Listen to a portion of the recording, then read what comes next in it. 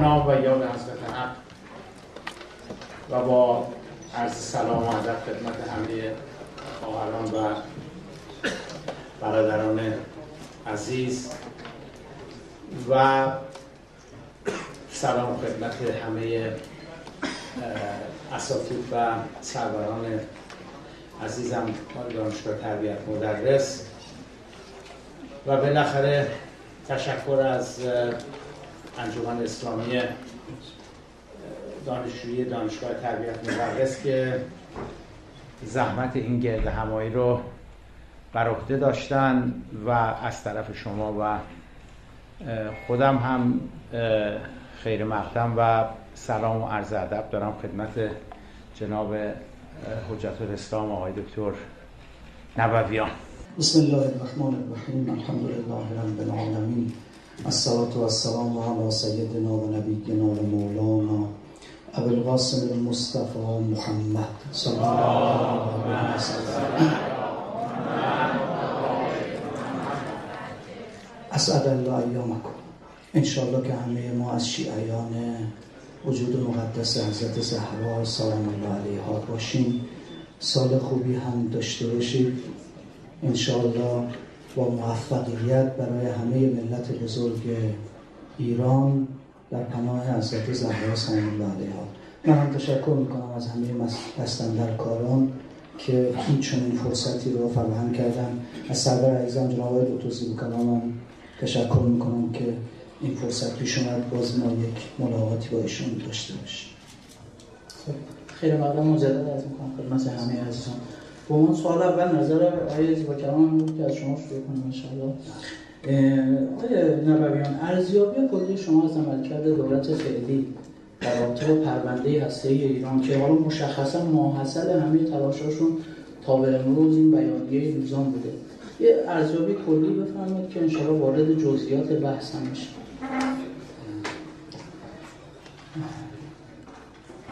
بحث سیاست خارجی. من فکر می‌کنم که دو تا روی کرده جدی وجود داره.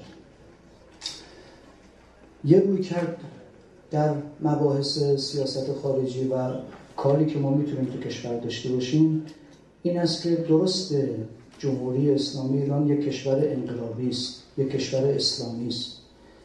اما زمان انقلاب گذشت. دیگه شعارهای انقلابی شعارهای ارزشی شعارهای اسلامی اینا رو بذارید کنار حالا زندگی خودمون رو بکنیم. بالاخره باید با کسانی که بپذیریم یه نفر قدرتمند تو جهانه هجمونیشو بپذیرید شماست ولی اینکه زندگی آرامی داشته باشید حالا همین هر مقداری هم او برای ما معین کرد. خودمون هم حالا لازم نیست همه چیز رو معین می‌کنیم در جدولی که او در تمام ابعاد برای زندگی ما تو سیاست تو اقتصاد تو پیشرفت تو صنعت. او معین بکنه ما در تعیین وزرا در همه چیز با اختیار او. یه زندگی رو بکنیم. چیکار تو خیلی دارن زندگیشون می‌کنن. یه روی کردین نه. ما انقلاب کردیم. اسلامی هست. اسلام زمان نداره. حقیقت زماندار نیست. الان هم باید ارزش های اسلامی رو فقط همین ارزش های پاسخگوست.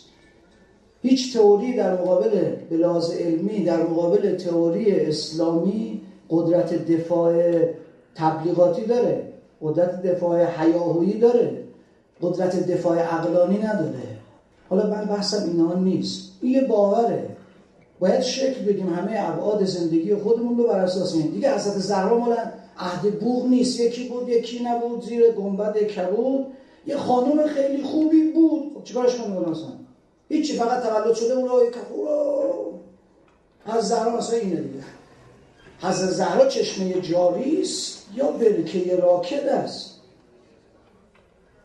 اگر چشمه جاری است امروز باید زهرایی زندگی کرد. این یه باوره. همه ابعاد وجودی زندگیمون از جمله سیاست. به نظرم این دو تا روی کرد تو کشور در حال دعوا هستن. در بحث من حالا این بحثای کلیه من به نظرم این سوالات هم سوالات کلی نشه. فکر می‌کنم اگر شما موافق باشید ما دستاوردی که در توافق نامه لوزانس داریم. جای دیگه هم نریم آمریکایی‌ها چی گفتن؟ اونا چی گفتن؟ ما چی گفتیم؟ این دولت دو تا مذاکره داشته بر اساس این اندیشه. یه دونه توافقنامه ژنو دست پیدا کرده. یکی هم توافقنامه لوزانس دست پیدا کرده. من فکر می‌کنم اگر راضی باشید شما موافق باشید محور بس این باشه. ما با این دو نوع توافق با آمریکا کردیم. منافع ملت را به دست آوردیم یا نه؟ ما دو چیز محور این بود. یکیش اینه که حقوق اصلیمون رو حفظ بکنیم. ممکنه یه خورده کم و زیاد فقط بشه. دو اینکه تحریما برداشته بشه. حدا از مذاکرات از این چیز دیگه که نبود که. یکی بحث هسته بود که ما یه مقدار خودمون حالا مثلا یه ضربه نه به معنای از دست دادن حقوق هستیم. آیا ما توانستیم به این دو هدف برسیم یا نه؟ حرفای بیرونی هم نزنیم. شما را نمی‌دونم به کی قسم بدم. با آسانسور گیر کرده بودیم. هرچی گفتیم خدا این اول با کار از خدا گذشته به حضرت عباس قسم بدید شما. من شما رو به حضرت عباس قسم بدم. البته به ویژه زیبا کلام رو. بحث های جای دیگه ندید این اومدیم برای لوزانس و توافقنامه ژنو هیچ بحث دیگه جای دیگه نخواهیم داشت. آیا با این شیوه منافع این مردم بزرگ و مقاوم ایران حفظ شده است؟ یا نه؟ اونم از متن حرف بزنیم. از این برام حرف زدن هر کس می‌تونه. دیگه فکر نکنم نه شما چون فرصتی داشته باشید و نه من, من چون فرصتی داشته باشم. حرف به جای دیگه نده توافقنامه ژنو قبلا هسته ای ما چی بود؟ تحریم چی بود؟ در توافقنامه ژنو هسته چی شد و تحریم چی شد؟ در توافقنامه لوزانس هسته چی شد و تحریم چی شد؟ به نظرم بحث باید رو همینا باشه چون دو تا هدف بیشتر نبود است ببینید دوستان من معتقدم که دو جور میشه به تحولات اخیر نگاه کرد. یک نگاه همین هستش که خب اصولگرایان تندرو پیش گرفتن که آقا بیان بینیم بند علفش چی میگه بهش چی میگه جیمش چی میگه دارش چی میگه و بعد هم ببینیم که آیا اینها در جهت منافع ملی ما هست یا نه. این یه روی کرده که خب بعد باید بگیم مثلا مقصود از این بند چیه؟ آمریکایی ها چجوری تفسیر می‌کنن؟ ما چجوری تفسیر می‌کنیم؟ ترجمه اونها چی هست؟ ترجمه ما چی هست؟ اینی که دست آقای دکتر نوویان هست. چی هست؟ اونی که آمریکایی ها به عنوان فکت چیت بهش استناد می‌کنن. اون چی هست؟ و قصه آزا متابینید بنده معتقدم که این شیوه و این روی کرد ما رو به هیچ کجا نخواهد رساند. و من معتقدم که اصولگرایان تندرو جبهه پایداری تعمدن این شیوه رو می‌خوان تحمیل بکنن که معلوم هم نشه دقیقا چه اتفاقی افتاده.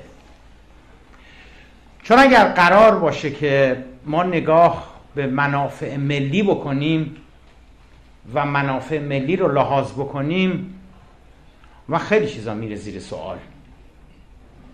از جمله اینکه آیا اساسا هسته به این شیوهی که شما دوازده ساله در پیش گرفتی اصلا سازگاری و سنقیتی با منافع ملی ایران داشته یا نه؟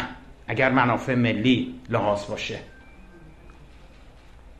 آیا کشوری که هزینه سرانش تو آموزش پرورش و تو بهداشت درمان تو محیط زیست یکی از پایین ترین ها هستش در دنیا.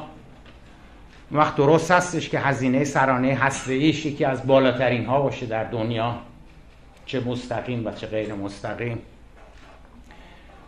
اگر منافع ملی رو بخوایم لحاظ بکنیم. اگه بخوایم منافع ملی رو لحاظ بکنیم از آقای نبویان باید بپرسیم که جنابالی به عنوان نماینده ملت می‌دونید چقدر خرج محیط زیست داره میشه؟ می‌دونید تعداد پرسنل سازمان محیط زیست کل کشور چقدر هست و چقدر داره خرج هسته ای میشه و تعداد کسانی که در سازمان انرژی اتمی کار می‌کنن تعداد اینها چقدر هستش؟ و خیلی سوالات دیگری که تمامشم به هر حال مد نظرش منافع ملی هست.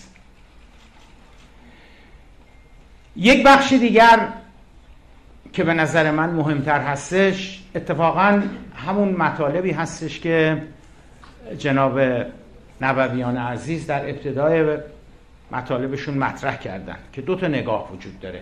درست میگن؟ اتفاقا کاملا درست میگن. دو تا نگاه وجود داره. یک نگاهی که 36 سال هست اهداف انقلاب اسلامی رو مصادره کرده. اهدافی که انقلاب اسلامی داشت و مردم به خاطر اون اهداف مبارزه کردن رژیم شاه رو سرنگون کردن. اهدافی همچون آزادی مطبوعات آزادی اجتماعات و تشکلهای سیاسی. نبود زندانی سیاسی. کسانی رو پنج, ماه پنج سال بدون محاکمه در حس نگه نداشتن. انتخابات آزاد حاکمیت قانون. اینا اتفاقا اهداف انقلاب اسلامی بود. اینا مصادره شده سالهاست و جاش اومده استکبار ستیزی آمریکا ستیزی غرب ستیزی جاش اینا آمده نشسته. شما یه آمار بگیرید ببینید که در مواقعی که فرض دهه فجر هست. ببینید مجموعه سخنرانی هایی که اصولگرایان می‌کنن هم از میان روشون یا تند روشون. هستی که تو مطبوعات هست. ببینید چند بار و کدام یکیشون وقتی که دارن در مورد انقلاب اسلامی صحبت می‌کنن صحبت از اهداف دموکراتیکی که انقلاب اسلامی برای اونها به وجود آمد می‌کنن. و به عکسش چند بار صحبت از این می‌کنن که بله آمریکایی ها فرهنگ ما رو پایمال کرده بودن غربی ها اسلام رو داشتن از بین میبردن. ما غم همه مستضعفین عالم رو ما می‌خوایم بخوریم و قص الهاسا و چند بار و چقدر صحبت از اینها می‌کنن. داستان هسته خواهر و برادرها این نیستش که در ژنو چه چیزهایی آمده و در توافق لوزان چه چیزهایی آمده. داستان هسته از اونجا شروع می شود که جریانی که انقلاب اسلامی رو مصادره کرد و اون رو از اهداف دموکراتیکش آری کرد و چسبوندش به آمریکا ستیزی و استکبار ستیزی اون جریان دوازده ساله که هستهی رو هم مصادره کرده و از هستهی داره بهره برداری سیاسی می‌کنه در جهت آمریکا ستیزی در جهت استکبار ستیزی. درسته میگه منافع ملی ولی لقلقه زبانه داره بازی می‌کنه با منافع ملی. اگر ذره براش منافع ملی مطرح بود اون وقت به این پرسش هایی که عرض کردم که آیا مردم می‌دونن ما چقدر داریم؟ ایران چقدر داره برای هسته ای هزینه می‌پردازه؟ و آیا راضی هستن به پرداخت این میزان هزینه؟ خب بله ایشون خواهند گفتش که بله آقای زیبا کردم راضی هم 22 بهمن دیدیم اومدن راهپیمایی کردن. اینا خب اینا راضی هستن دیگه. اون وقت میشه به ایشون جواب دادش که جناب نبویان اگر راضی بودند به سیاست های هسته ای که شما که انقلاب اسلامی رو مصادره کردید و کشوندیش در جهت اهداف استکبار ستیزی به نظر شما آیا انقدر عقلشون نمی‌رسید که در انتخابات 24 خرداد 92 به آقای دکتر سعید جلیلی بیان رأی بدن؟ که همچنان بهره برداری از هسته‌ای و موضوع هسته‌ای ادامه پیدا بکنه در جهت یه سری اهداف رادیکال سیاسی؟ یا نه؟ پس نمی‌خواستند. و اون یه جور در حقیقت رفراندوم بود. اونو قبول ندارید؟ بسیار خوب. به نظر شما این علاقه این شور این اشتیاقی که نزدیک به سه هفته هستش مردم به خصوص قشر جوان و تحصیل کرده کشور داره نشون میده نسبت به مذاکرات. چی شد؟ چی شد؟ دیشب چی شد؟ من دیشب خوابم رفت. خبر جدید نیومده. چرا این اشتیاق چی رو نشون میده؟ آیا این در پس این اشتیاق که به خصوص نسل جوان داره نشون میده؟ آیا در پس این اشتیاق این هستش که می‌خوان مذاکرات به شکست انجامه و به جایی نرسه؟ و داستان دوران آقای احمدی نژاد مجددا تکرار بشه. یا نه؟ یا نه؟ اشتیاق دارن بین دارن امید دارن که مذاکرات به نتیجه برسه. خوشحالن از اینکه مذاکرات به نتیجه برسه. چرا خوشحالن؟ چون اتفاقا درست متوجه شدن که هسته‌ای قل و زنجیری بوده بر دست و پای پیشرفت و ترقی و رشد و توسعه مملکت. متوجه شدن که هسته‌ای فقط بهره برداری سیاسی بوده برای جریان تند و رادیکال. چیز دیگری در در چیز آیدی دیگری نداشته. نه برای پیشرفت و توسعه اقتصادیمون نه برای پیشرفت علمی نه برای صنعت نه برای چیز دیگری بنابراین به نظر من اینا اینا مسائل اصلی است. و الا اینکه در توافق لوزان چی هست؟ اینکه در توافق ژنو چی هست؟ به نظر من با یه مقداری تفسیر مشخصه. یه سری جاها رو ما کوتاه آمدیم میبایستی کوتاه می آمدیم یه سری جاها رو اونها کوتاه آمدن و به نظر من و به نظر من اتفاق مهمی که در لوزان افتاد این بودش که برای اولین بار بعد از 36 سال بخشی از حاکمیت آمریکا و بخشی از حاکمیت جمهوری اسلامی ایران. برای اولین بار بعد از 36 سال گفتن که ببینیم می‌تونیم به هم دیگه اعتماد بکنیم. ببینیم می‌تونیم با هم دیگه کار بکنیم. و هم در ایران مخالفین خیلی زیادی وجود داره برای این ریسک که ببینیم می‌تونیم با هم دیگه کار بکنیم. هم در آمریکا. به عنوان آخرین جملاتم در آمریکا تمام کسانی که به چیزی کمتر از محو جمهوری اسلامی ایران رضایت نمیدن به شدت مخالف توافق لوزان هستند. در ایران هم تمام جریاناتی که احساس می‌کنن گنبد آمریکا ستیزی ترک برداشته با این توافق و هر چقدر که این توافق به جلو بره این ترک ها بیشتر و بیشتر میشه. اونا هم شروع کردن به مخالفت و تعارض نسبت به نسبت به لوزان. بنابراین موافقینش مشخصی کیا هستن. مخالفینش هم مشخصه که کیا هستن. من تشکر می‌کنم از فرمایش جناب آقای دکتر زیبا کلام. دوباره برای من نمی‌خوام هیچی از این حرفا رو جواب بدم چون اینا اصلا قابل جواب دادن چون رفتی به موضوع بحث نداره موضوع بحث بحث هسته است بحث توافق نامه هاست می‌خوام ببینیم آیا این روش که آقای زیبا کلام میگه این روش روش درستی است؟ آیا منافع ملت را حفظ کرده است یا نه؟ من به نظرم از این برنامه نمی‌خواد سخنرانی هم نمی‌خواد این متن ها. متن از دور بخونید آه نه شما پایداری ها تندرو هستید. میگید تو متن چیه؟ بیرون بیا یه حرفی می‌زنید متن هر چی شد شد. این بحث منطقیه. من نمی‌دونم شاید این بحث منطقی باشه. ما منطقا شاید عوض شده باشه حالا دیگه کاری با تندرو و کندرو اینا هم آقای زیبا کلام کسی به نظرم این فوشا و اینا اینا رو بذارید کنار. با منطق بحث بکنیم و مستند هم حرف بزنیم. اما اینکه به هسته ای آیا به درد ما می‌خوره یا نه؟ من اتفاقا آوردم. پیشنهاد میدم آقای زیبا کلام هم یه خورده کتاب مطالعه بکنه. در باب مباحث هستی. چون من دو تا مناظره باش داشتم. مبانی لیبرالیسم.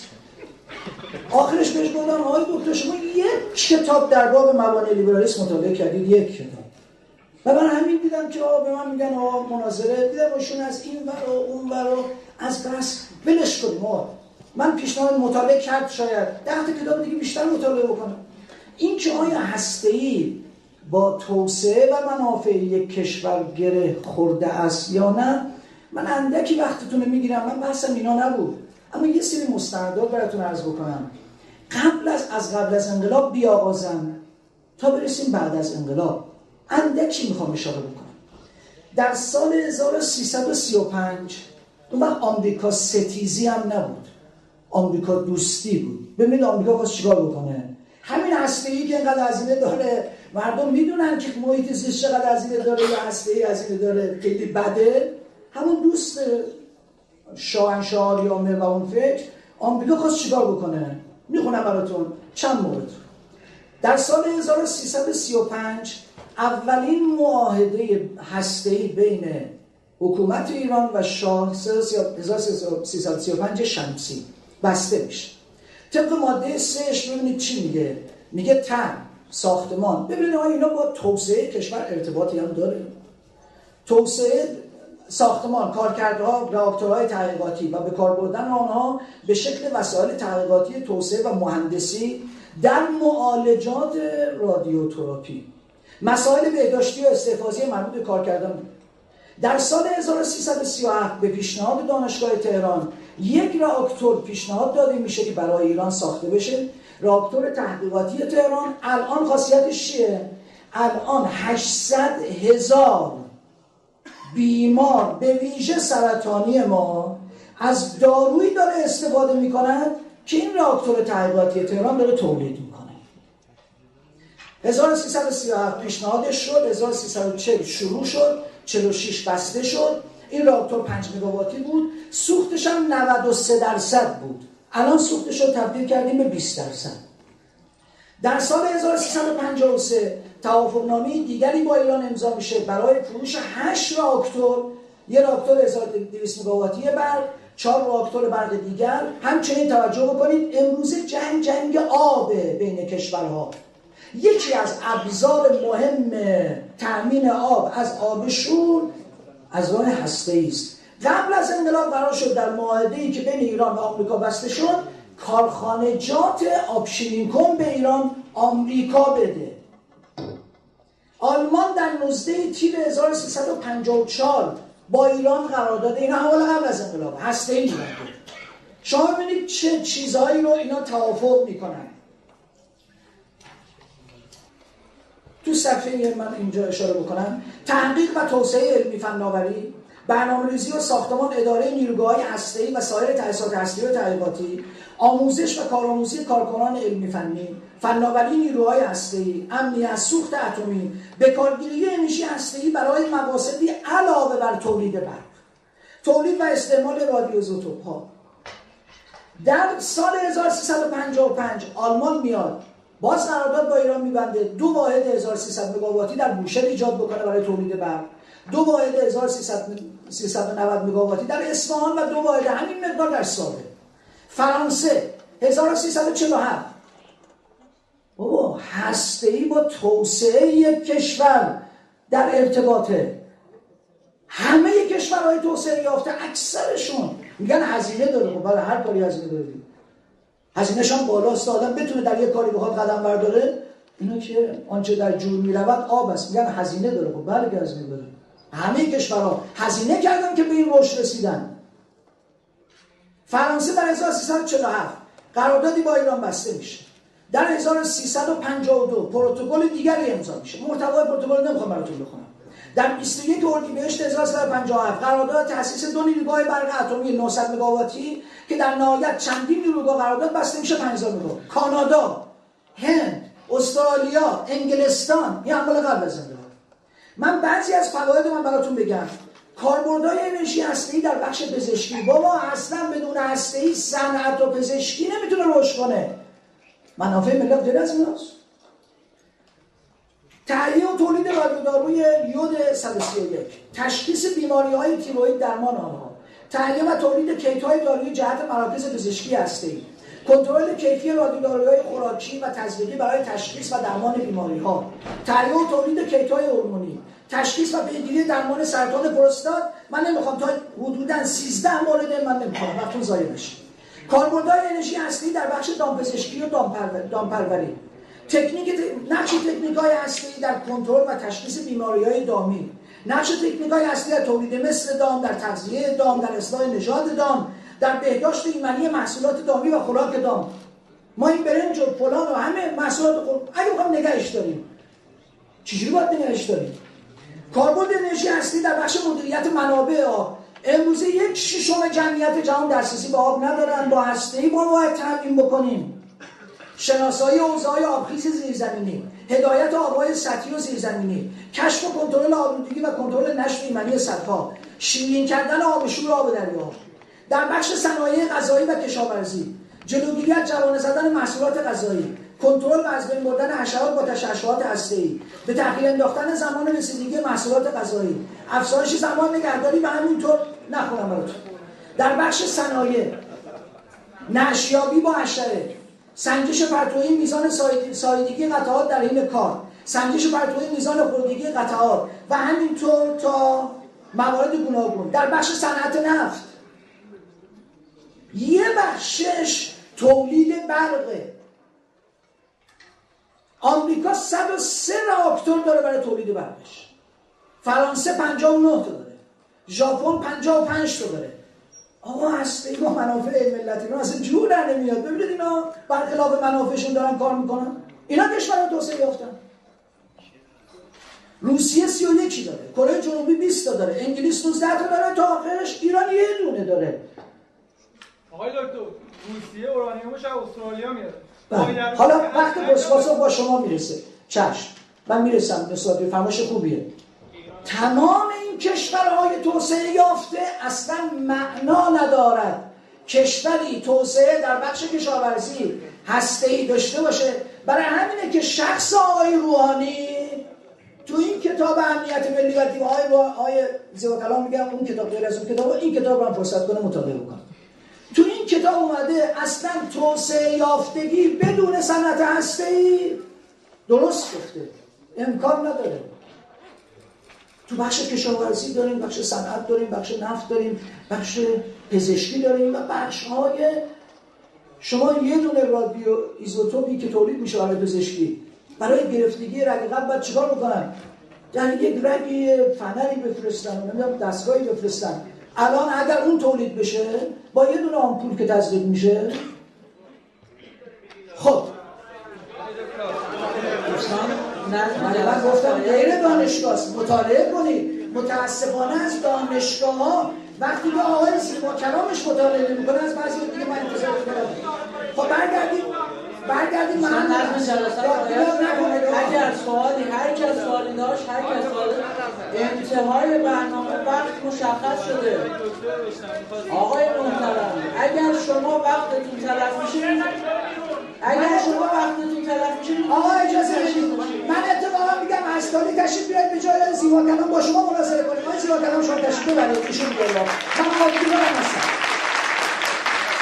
شروع نکنید شما آداب من مستند می‌زنم باز برمیگردم باز برمیگردم حق دارن صحبت کنن. شما هم حق دارید صحبت کنید ولی در انتهای جلسه. انتهای جلسه.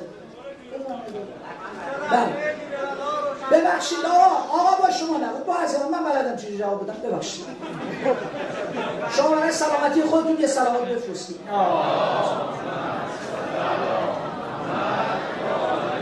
باز برگردیم. ولش کنیم آقا. اینجا برای دموکراسی شد. من امروز نیومدم برای اینجور چیزا.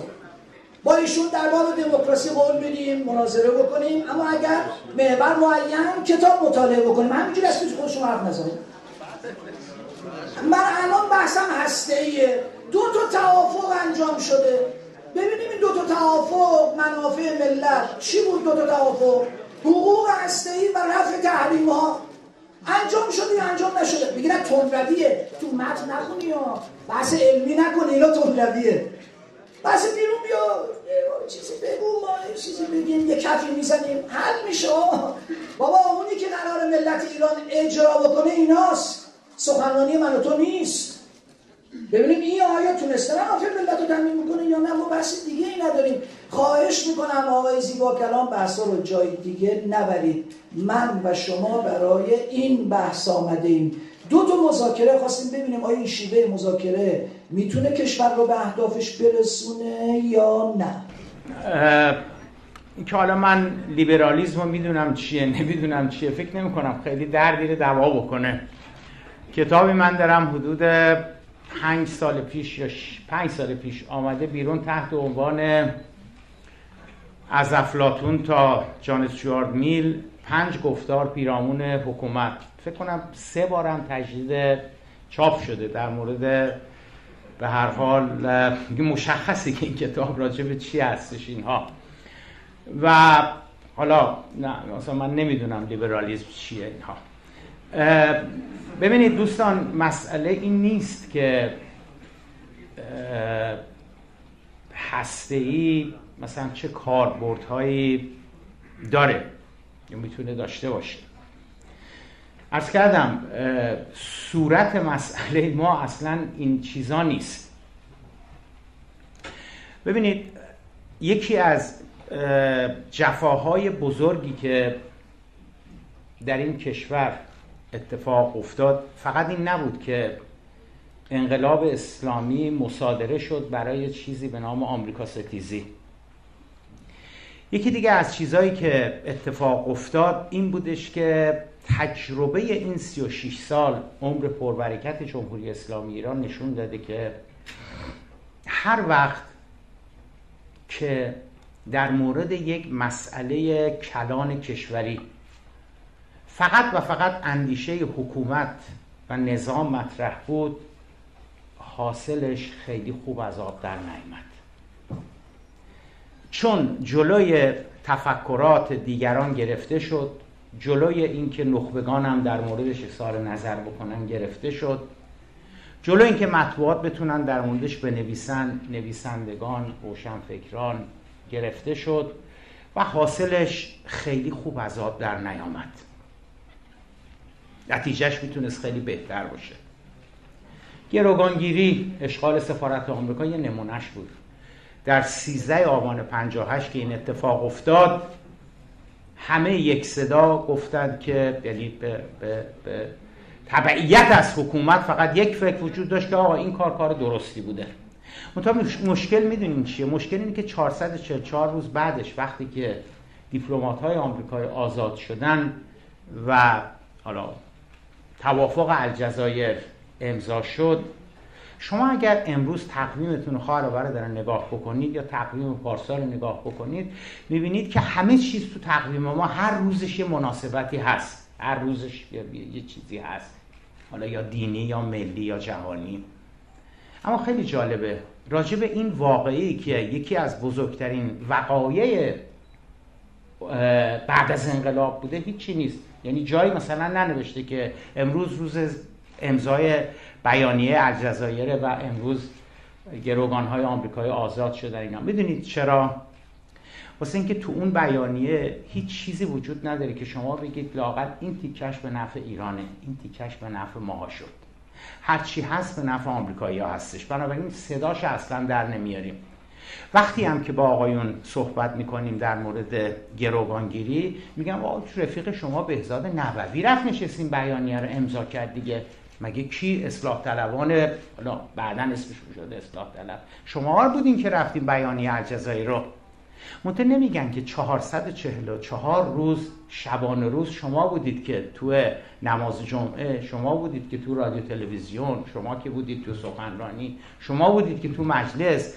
گفتید اگر کسی بگه که دیپلمات های آمریکایی جاسوس های آمریکایی آزاد میشه خائنه پست رزل اینا باید محاکمه بشن. شما بودید که از این کار غلط مطلقا دفاع کردید و اجازه ندادید.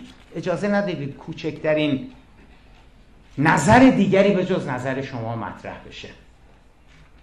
چون برید از 13 آبان 58 روزنامه‌اش هست تو همین کتابخونه همین دانشگاه تربیت مدرس روزنامه های اون زمان است. ببینید کسی جرأت کرد یک کلام بگه که این کار آخه یعنی چی؟ این کار این ایرادات هم برای علیه مملکت داره علیه کشور داره. فقط و فقط نظر حکومت. در داستان هسته ای برادران اشکال بزرگ اتفاق بزرگی که افتاد یا عیب بزرگی که افتاد این بودش که حداقل تا توافق ژنو در در آبان یا آذر 92 فقط و فقط نظر حکومت مطرح بود. اولین بار که اساسا مسئله هسته‌ای مطرح شد سال 1382 بود که می‌دونیم مجاهدین لو دادن بعد معلوم شدش که بله ما در نتنز داریم کارهایی می‌کنیم و از اونجا بود که داستان شروع شد. وقتی داستان هسته شروع شد در سال 1382 دو سال آخر دولت آقای خاتمی بود. رویکرد کلی اصلاح طلبان این بودش که هسته ای کم و بیش ادامه پیدا بکنه. منتها جوری نباشه که همه دنیا رو در مقابل ایران بگیره قرار بده. این سیاست کلیشون بود. تعلیق کردن حرکت خیلی کند کردن بعضی چیزها رو اصلا انجام ندادن. کجدار, مر... کجدار و مریض بود سیاست اصلاح طلبان در آن دو سال.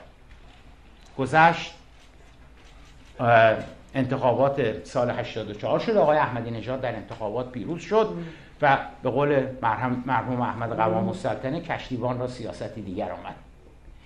ایشون نه تنها اعلام کرد که سیاست هسته ما تغییر پیدا کرده بلکه اگر یادتون باشه گفت اون سیاست خائنانه بوده.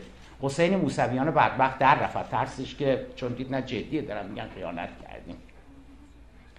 این یعنی مصادره از این از این نقطه بود که هسته مصادره شد برای برای به عنوان ابزار به عنوان یه وسیله در جهت غرب ستیزی در جهت آمریکا ستیزی در جهت استکبار ستیزی.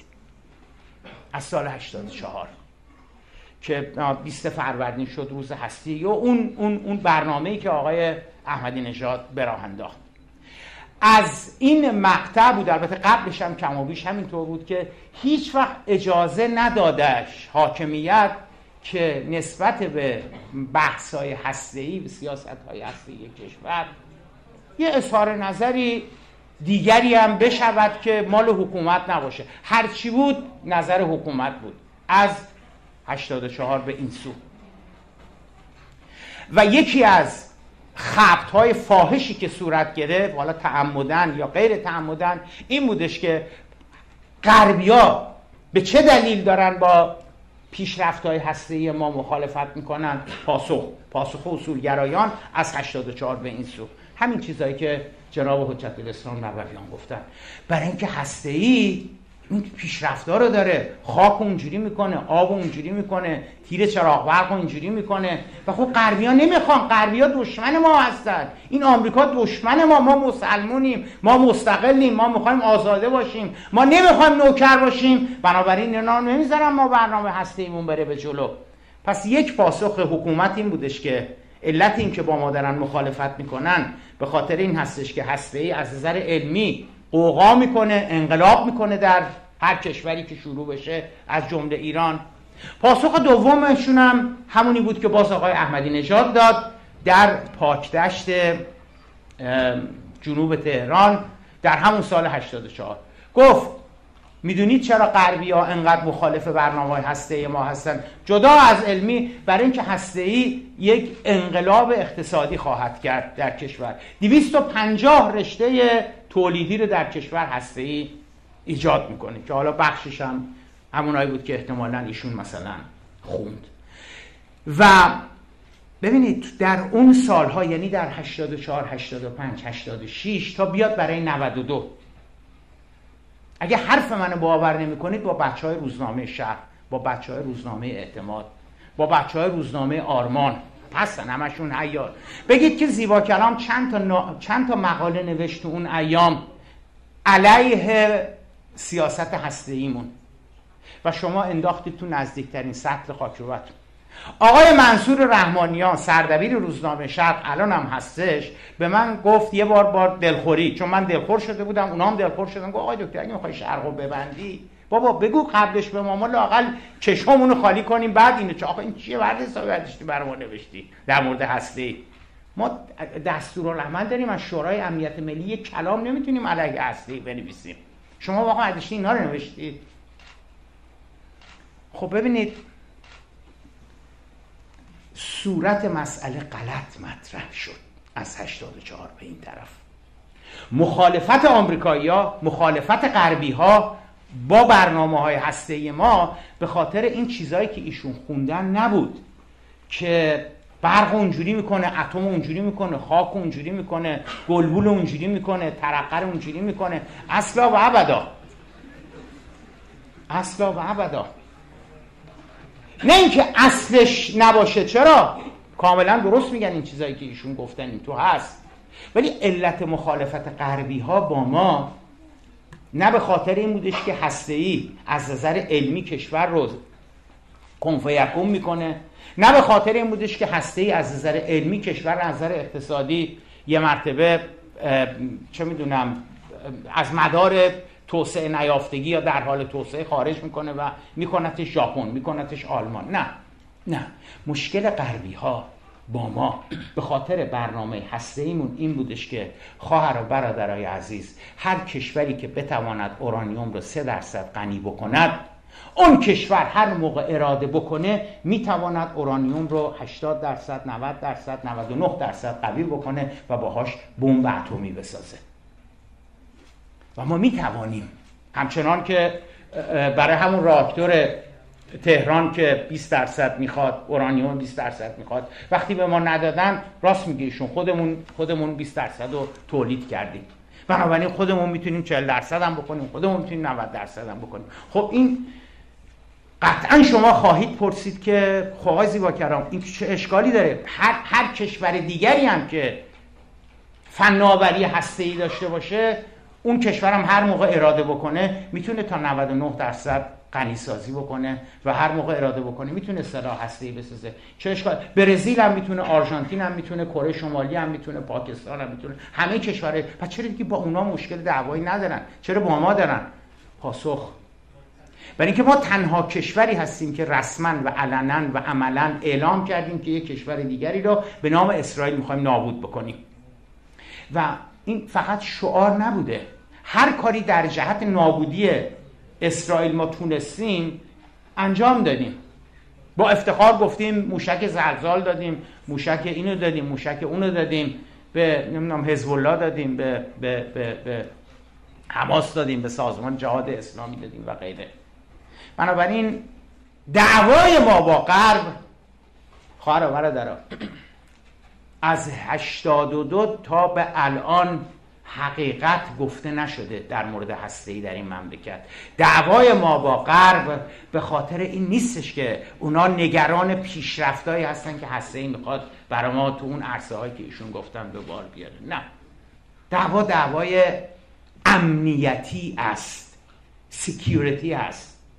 به همین دلیلی که انقدر پای اسرائیل میاد وسط. انقدر پای آقای نتانیاهو اومده وسط. که ما اعلام کردیم که می‌خوایم اسرائیل نابود بکنیم. درست در بهبهه مذاکرات سوئیس. خب آقای سردار نقدی نه گذاشتن نه برداشتن. گفتن که این که اسرائیل رو باید نابود کنیم این که اصلا این چیزه این که اصلا حله این که اصلا چیز نیستش که بشینن راجبش مذاکره بکنن اینا.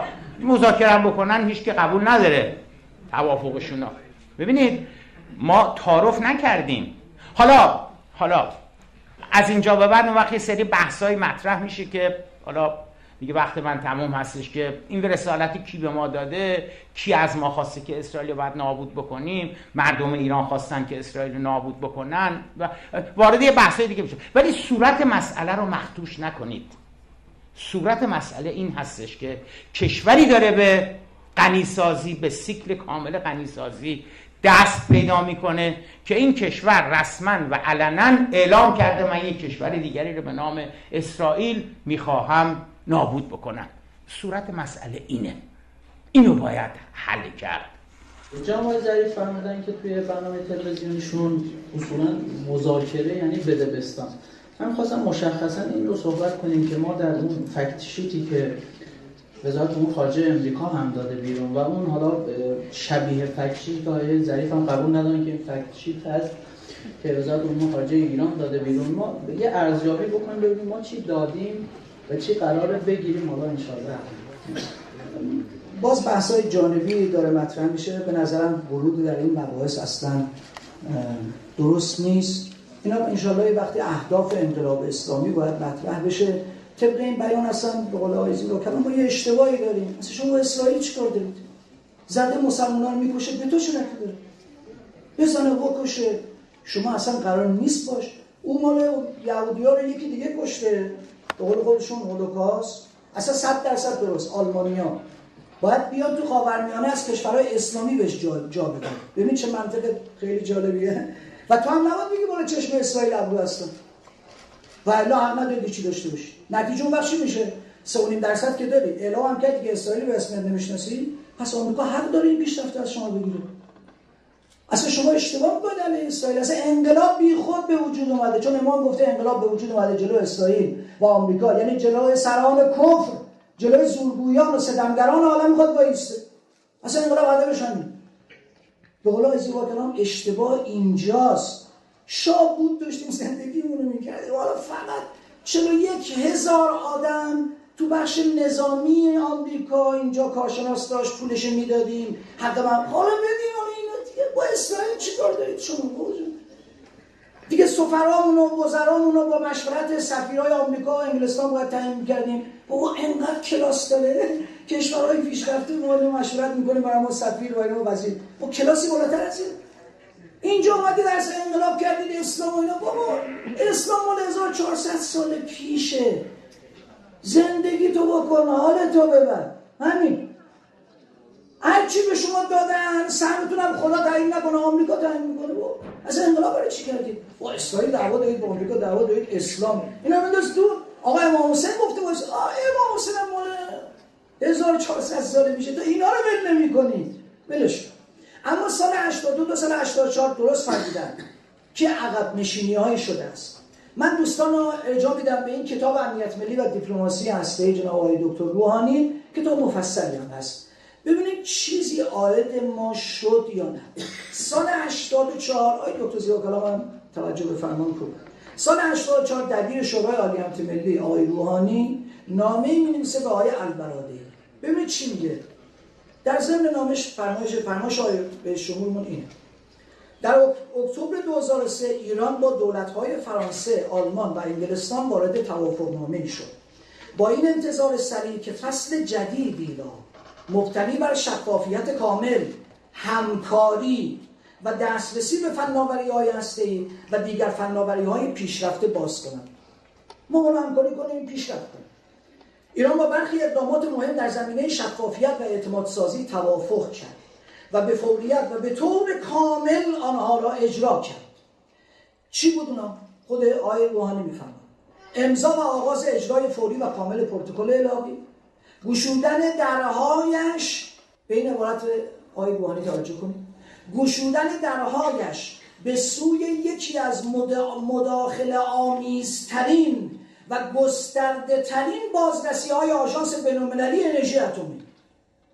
فراهم آوردن مجموعه جزئیات فعالیت‌های صلح‌آمیز هسته‌ایش که تمامی آنها در هماهنگی کامل با حقوق و تکالیفش تحت معاهده عدم اشاعه NPT است. شروع و تداوم تحقیق داوطلبانه حق قانونی خود برای غنیسازی اورانیوم. به عنوان اقدامی اعتمادساز ظرف 20 ماه گذشته گسترش دامنه تحلیل در فوریه و نوامبر 2004 در پی توافقات با سه کشور اروپایی و اتحادیه اروپا در بروکسل و پاریس و هم. تا اینجا میاد چی شد حالا متاسفانه در مقابل اگر نگوییم هیچ ایران ما به ازای بسیار اندکی دریافت کرد و بارها اقدامات اعتماد ساز خود را افزایش داد و تنها در عوض آن با قولهای انجام نشده و درخواستهای بیشتر روبرو شد.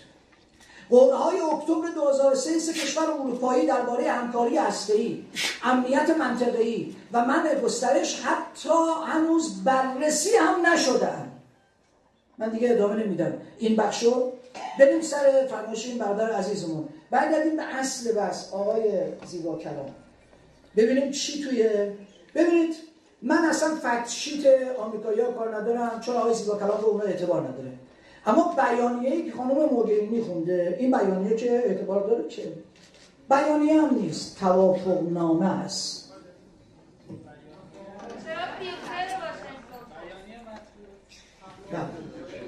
دقت کنید. This is This is a crucial این یک تصمیم مهم و سرنوشت ساز است که چکار می‌کنه دوستانی که اهل دقتن؟ با متن کار داشته باشن. گفت علیکم بالمتون. Laying the accurate basis for the final text. این توافق چیکار می‌کنه؟ یه مبنا و چارچوبه برای توافق و جزئیاتی که تا تیرمان می‌خواد انجام بده فراهم پس این میشه چارچوب. تخطی از این چارچوب هم امکان نداره. بیانیه نیست. بیانیه که اینقدر دعوا نداره که. آقای ظریف فیروز کمیسیون اومد گفت فقط روز آخر من نه ساعت با جانکری بیانیه نوشتم. شما که خودتون واردید بیانیه زیاد چیز نداره. خب شش تا تقریبا پرونده داره. یک نتنز قرار شد چی بشه؟ بعد من آخرش هم نیستم تعلیما چی میشه؟ ما اگر واقعا آقا هسته ایمون محدود بشه اما تحریما برداشته بشه بزرگترین پیروزی ماست. صد درصد اینا قابل تاییده. ولی یه مقدار هسته ایمون برداشته بشه اشکال نداره. اما ببینیم شد این کار یا نشد. صحبت های بیرونی رو ولش کنید. اینکه اینجا حرف بزنیم و یه کف بزنیم و اینا اینو به نظرم دور از شأن مباحث علمی است. خب نتنز چی شده؟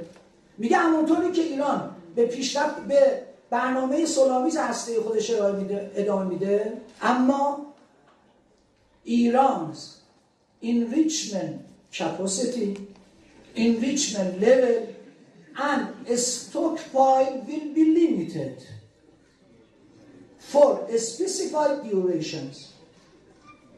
غنیسازی باقی میمونه در نتنز سایت غنیسازی باقی میمونه. اما سه تا محدودیت باید براش قائل باشید.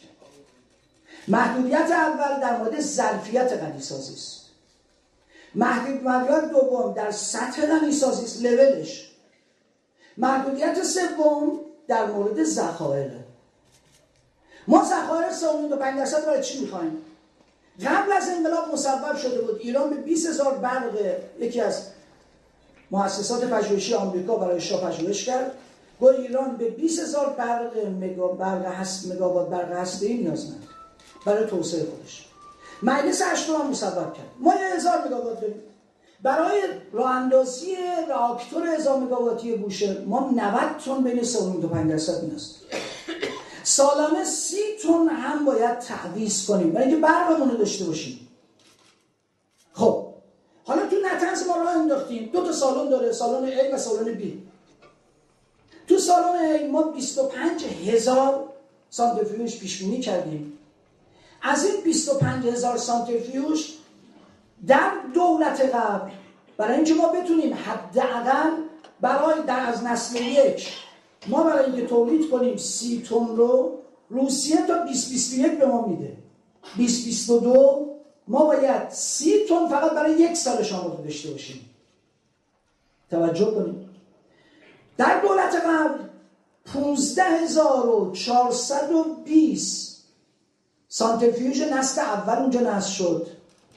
1008 تا سانتریفیوژ نسل دو نصب شد. خب این نصب ادامه داشت. ما باید می‌رسیدیم به 54 هزار تا. در توافق نامه ژنو آقایون رفتن تعهد دادن در اینجا. که به 15420 سانتریفیوژ یه دونه دیگه اضافه نخواهیم کرد. از اون 1080 اونا دیگه نسل دو به بالا کسی حرفش نزن. در اینجا به چی تعهد دادن؟ اینجا رفتن تعهد دادن پیروز تو لوزانس. ما از اون مقداری که 15 هزار خوردی داریم باید برسونیم به 5060 تا. بقیه رو باید چیکار بکنیم؟ بقیه رو آقا خیلیشو ببینیم جمع کن. آقای عراقچی به میگو میگو ما خیلی پیروز شدیم. چون اونا اومدن با گفتن باید دیسمنتل کنید. اجزاشو در بیارید. اصلا گفتیم محمد کردیم. بودی خودمون سالم انبار می‌کنیم. از 5060 تا بیشتر رو رفتن تعهد دادن کمپلت انبار می‌کنن. بالاتر. زیر ساختاشون هم گفتن باید نابود کنن اینا هم تعهد دادن. ببین زیر ساخت یعنی چی؟ حتما رفتید. اینجا دانشگاه به قول دوستمون فرمایش درستی کردن. بحث علمی باید بشه سانتریفیوژ رو روی زمین نصب نمی‌کنن. من رفتم بازدید. سانتریفیوژ رو در یک ارتفاعی حداقل من دقیق نمی‌خوام بگم این متر 60 سانتی کمتر بیشتر. یه ارتفاعی درست می‌کنن فنرهای خاصیه. برای اینکه ضد زلزله باشه اصلا. قرار شد سانتریفیوژا هم انبار می‌کنن. آمریکا دستور داده یه بلدوزر بذارید کل این زیر ساختاشون هم با خاک یکسان بکنید. این یکی هم رفتن تعهد چشم. الان برای شما عرض می‌کنم. چشم. الان براتون عرض می‌کنم. الان براتون عرض می‌کنم. کجای متنه من فرمایش بذار من کل در مورد نتنز بگم. فرمایش آقای ظریف و در بیانیه وزارت خارجه رو براتون بخونم. فرمایش درستیه. اشکال به نتنز در دولت سابق مرکز غنیسازی بوده. آقای دکتر من متن این جمله رو دارم. اگر بله هست پیش من. نوشته که ایران تأسیسات خود را در فردو و نتنز که قابل استفاده نخواهد کرد بود به نحوی تبدیل خواهد کرد که دیگر برای غنیسازی اورانیوم قابل استفاده نباشد. بله اصلا خود دولت اعلام می‌کنه لازم نیست. از آمریکایی هم بخونیم. دولت اعلام کرده وزارت خارجه تو بیانیه شورده باید زیر ساختهای سانتریفیوژهای اضافی در نتنز و فردو هم جمع آوری شود. حالا دقت کنید در دولت قبل مرکز غنیسازی بوده. در اینجا هم مرکز غنیسازی بوده در ژنو. اما در اینجا اومده تنها مرکز غنیسازی است. تعداد سانتریفیوژهایی که غنیسازی می‌کردن در دولت قبل از اون 15400 خوردی 8000 خوردی بوده. در این توافق نامه ژنو بعد قرار بود ادامه پیدا بکنه. گاز تزریق بشه به سانتریفیوژهای دیگه. نسل دو هم اندازی بشه. در این توافق نامه رفتن سه آذر 92 تعهد دادن.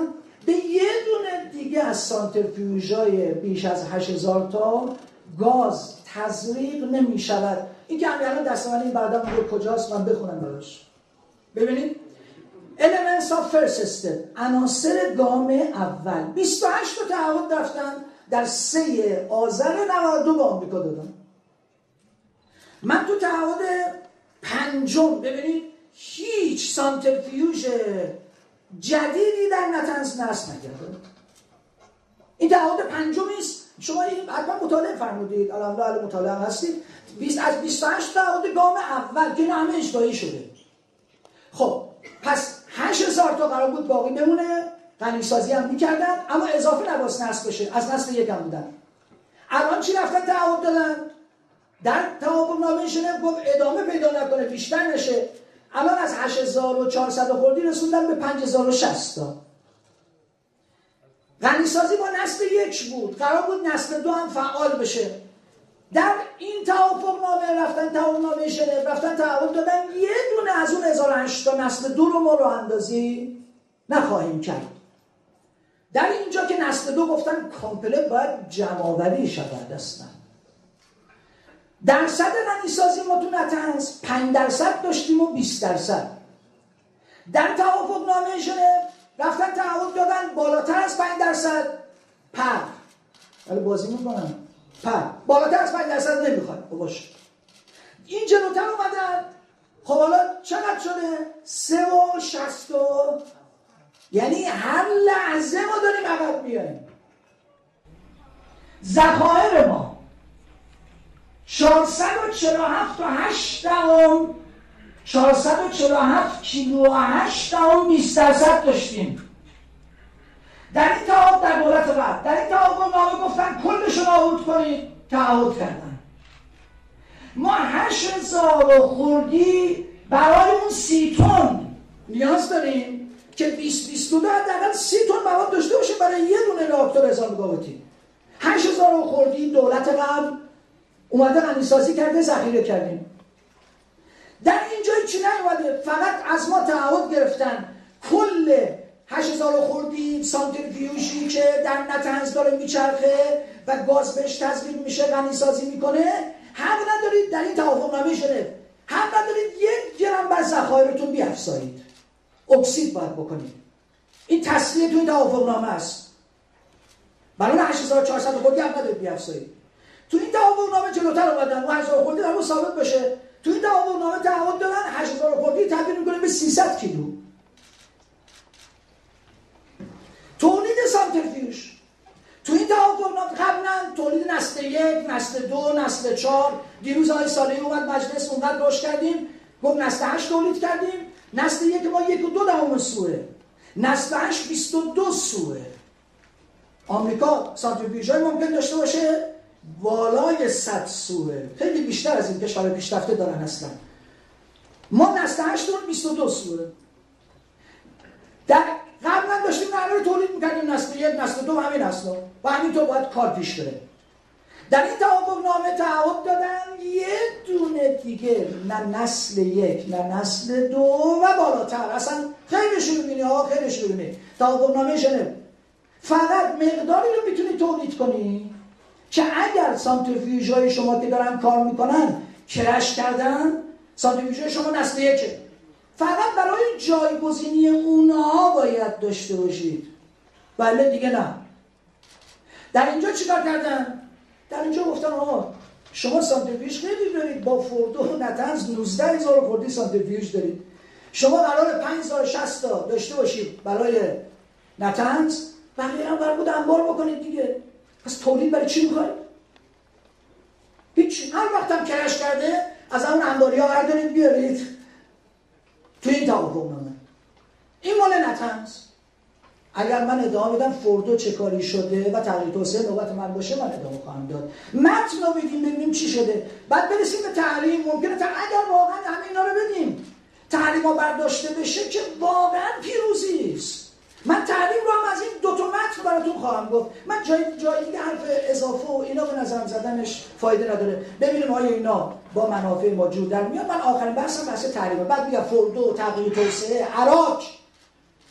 اینا چی شده؟ ببین چه کارایی. چطور همینطور داریم عقب نشینی می‌کنیم؟ هی داریم عقب نشینی می‌کنیم. آخه یه دونه ما تحریما رو درست برداریم. خیلی خوبه. اشکال نداره. بالاخره مذاکره بده بسونه البته من بازی برد برد زیاد بلد نیستم. آمریکا 140 میلیارد دلار پول ما رو بلوکه کرده. بعد دیگه بازی برد برد کنیم. یه دوستی اومده 100 میلیون تومان پول شما رو گرفته. میگه حالا بشین مذاکره کنیم 50 تومن برد برد. 50 تومن تو 50 تومن من. با پول خودمون این باسماس نیست از شما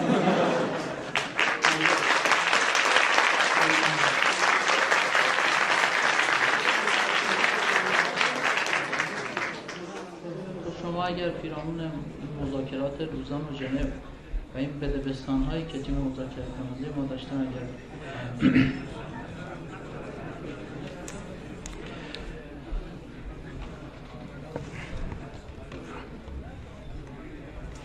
من مجبورم مثالی بزنم برای شما.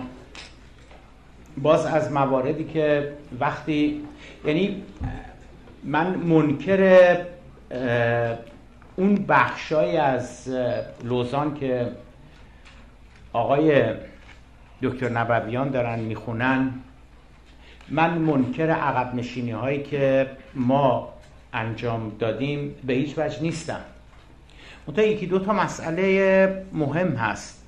یکی اینکه آیا طرف مقابل ما یعنی آمریکا مشخصا آیا آمریکایی ها هم عقب نشینی هایی کردن یا نه؟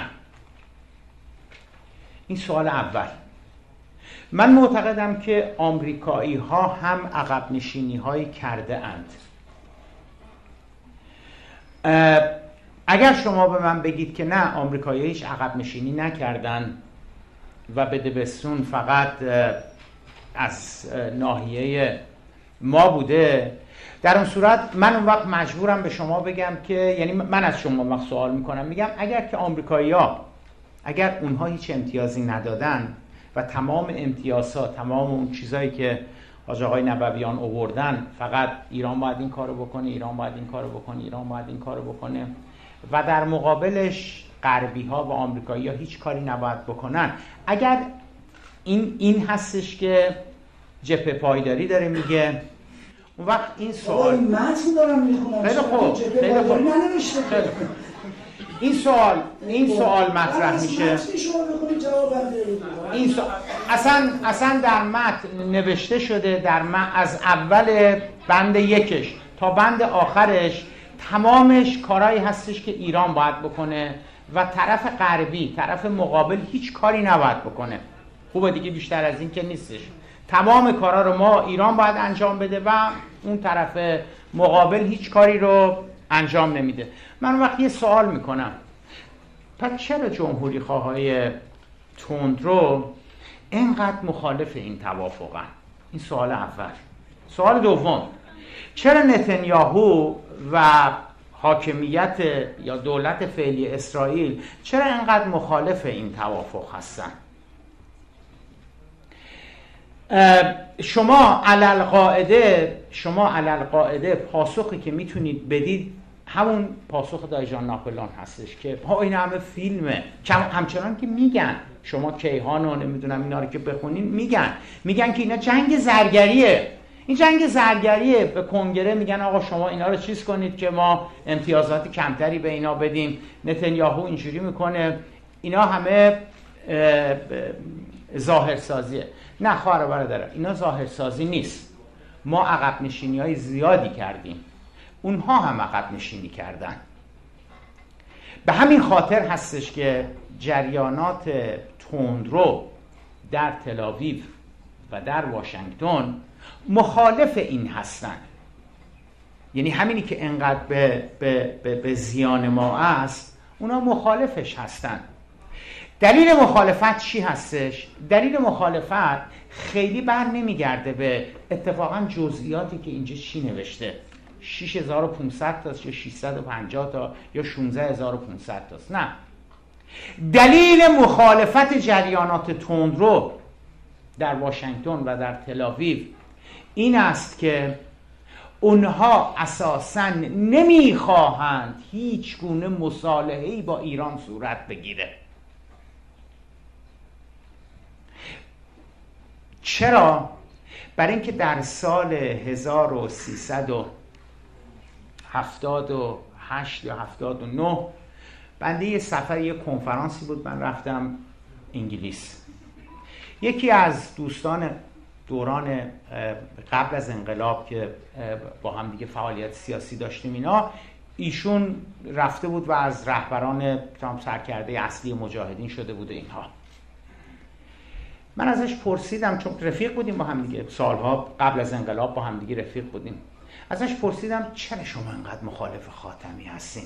چون آقای خاتمی رفته بود ایتالیا نمی‌دونم یا فرانسه و سازمان مجاهدین تمام نیروهاشون رو جمع کرده بودن برده بودن علیهش تظاهرات می‌کنن. چرا شما آقای اینقدر علیه خاتمی هستین؟ گفت برای اینکه این نظام داشت سقوط می‌کرد. داشت سقوط آزاد می‌کرد. و این خروس بیمحل شما خروس بیمحل اومدید این داستان دو خورده مطرح کردید اصلاحات رو مطرح کردید. دارید سقوط این رو به عقب میندازید برای همین ما انقدر مخالف هستیم. ببینید خواهر و برادران نتنیاهو و سهیونیستای تندرو و جمهوری های تندرو به این دلیل مخالف این توافق هستند. و نهایت تلاششون رو دارن به کار می‌برن که اتفاقا جلوی عملی شدن این توافق رو بگیرن چون دارن متوجه شدن که در انتهای این تونل نور هست. چون متوجه شدن اون سراتی رو که آقای احمدی نژاد و اصولگرایان رو داشتن مملکت رو میبردن و انقریب چیزی از ایران دیگه با از نظام باقی نمیمون سقوط می‌کرد اون متوقف شده. اون سقوط آزادی که زمان احمدی نژاد شروع کرده بودیم اون متوقف شده. متوجه شدن که به هر حال فشارها داره رو ایران کم میشه. بالاخره این عقب نشینی هایی که ما کردیم از اگه تحریم ها رو از صفر تا صد بگیریم درسته 90 تا تحریم ها برداشته نشده. ولی 5 تا که برداشته شده دو تا که برداشته شده یکی که برداشته شده. به علاوه به علاوه به علاوه برخلاف دوران آقای احمدی نژاد تحریم ها از 100 تا نشده 110 تا 120 تا. متوجه شدن که ما رو به رو به بهبود هستش. یعنی نور دارن می‌بینن. و اتفاقا اینا دلشون می‌خواست. دلشون می‌خواست که توافق صورت نگیره. مذاکرات به شکست بیانجامه. برای اینکه اگر شما یادتون باشه بعد از انتخاب آقای روحانی و وقتی که اولین دور مذاکرات شروع شده بود قبل از اینکه به توافق ژنو منجر بشه اگر یادتون باشه کنگره اصرار زیادی داشت که تحریم های جدید رو مطرح بکنه. تحریم های جدید رو تصویب بکنن و به اجرا بگذارن. نمی‌دونم یادتون هست یا نه که اوباما گفت اگر تحریم های جدید رو تصویب بکنید من وتو خواهم کرد. چون می‌تونه رئیس جمهور مصوبات کنگره و سنا رو اگه زیر دو سوم نباشه وتو بکنه. گفت من وتو می‌کنم. خب باز تو ایران دایجان ناپلئون گفتن اینا جنگ زرگریه اینا مثلا برای سر کار بود. نه جنگ زرگری نبود واقعیت بود. برای اینکه مثل, مثل الان باز تندروها می‌خواستن که توافق صورت نگیره و منتها ببینید هیچ کس در ایران حالا من تو که یادم میاد این مسئله مطرح نشد. که حالا خودمونیم این تحریم های جدیدی که کنگره می‌خواد به اجرا بگذاره این تحریم های جدید مگه چیه که اوباما میگه اگه شما اینا رو به اجرا بگذارین من وتو خواهم کرد؟ من اتفاقا خوندم که چی بوده تحریم ها بند اولش می‌دونین چی بود؟ بند اولش این بودش که صادرات نفت ایران به صفر می‌رسید در پایان 2014 2014 کی تموم شد؟ دیما. دو ماه پیش سه ماه پیش. 2014 تموم شد. اگر اون تحریم ها به اجرا گذاشته می‌شد و رئیس جمهور آمریکا وتو کرد نفت ایران به صفر می‌رسید. شما قطعا خواهید گفت که ما تنگه هرمز رو اینجوری می‌کردیم ناو ما اینجوری می‌کردیم ناو چوبی می‌سازیم مقوایی می‌سازیم میریم با دو هزار تا موشک می‌زنیم که هر کدومش مثلا ده ها میلیون دلار ارزشش میریم چوبا رو می‌زنیم وسط خلیج فارس و عشق می‌کنیم. ما مگه می‌ذاریم؟ ولی ببینید ببینید خواهر و برادرها اتفاقا می‌توانند آمریکایی‌ها می‌توانند آمریکایی‌ها جلوی صادرات نفت ما رو بگیرن. منتها جلوگیریش اینجوری نیستش که مثلا سیم خاردار بکشن تو تنگه هرمز نمی‌دونم با نه. 75 درصد صادرات نفت ما. همین الان همین امروز که 18 فروردین 19 فروردینه. همین امروز 75 درصد صادرات نفت ما. هر چقدر هست. 800 هزار بشکه است. یه میلیون بشکه است. یه میلیون دیویس هزار بشکه است. هر چقدر هست 75 درصدش میره برای این چهار کشور. کره جنوبی چین هند ژاپن. و هر چهارتاشون خرید نفتشون از ایران با مصوبه خزانداری آمریکا هستش. هر چند وقت به چند وقت این مصوبه رو تجدید می‌کنه که کره جنوبی هند ژاپن چین شما همچنان می‌تونید به خرید نفت از ایران ادامه بدید.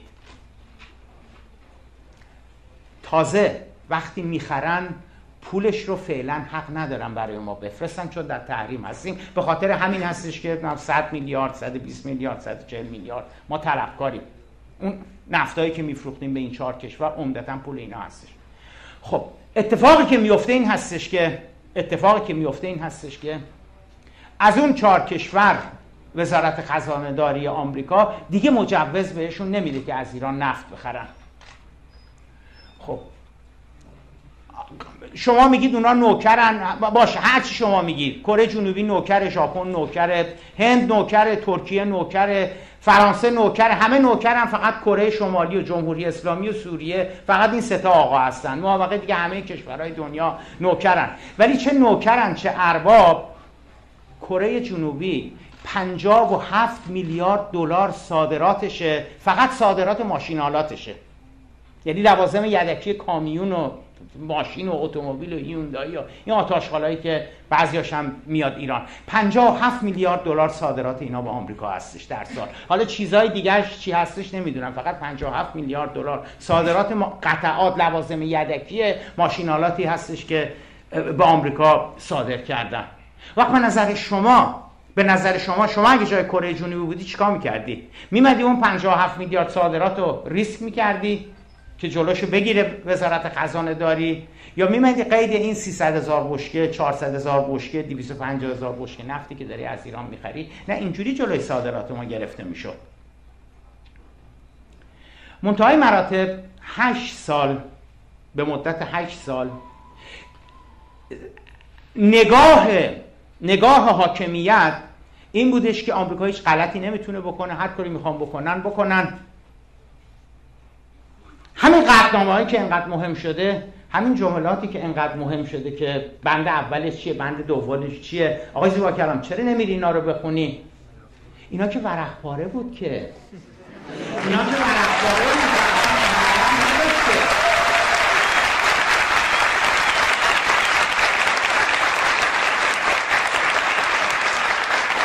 چرا اینقدر اینا الان اینقدر دقیق و مگه مگه مگه مگه آقای احمدی نژاد نگفت اینقدر قطنامه بدهید تا قطنامه دونتون پاره بشه؟ خیلی جالبه. خیلی جالبه. کسانی که می‌گفتن اینا ورق پاره است کسانی که می‌گفتن اینقدر قطنامه بدین تا قطنامه دونتون پاره بشه حالا اینا رو برداشتن و بردن میگن ببین اینجا چی گفته؟ ببین اینجا چی گفته؟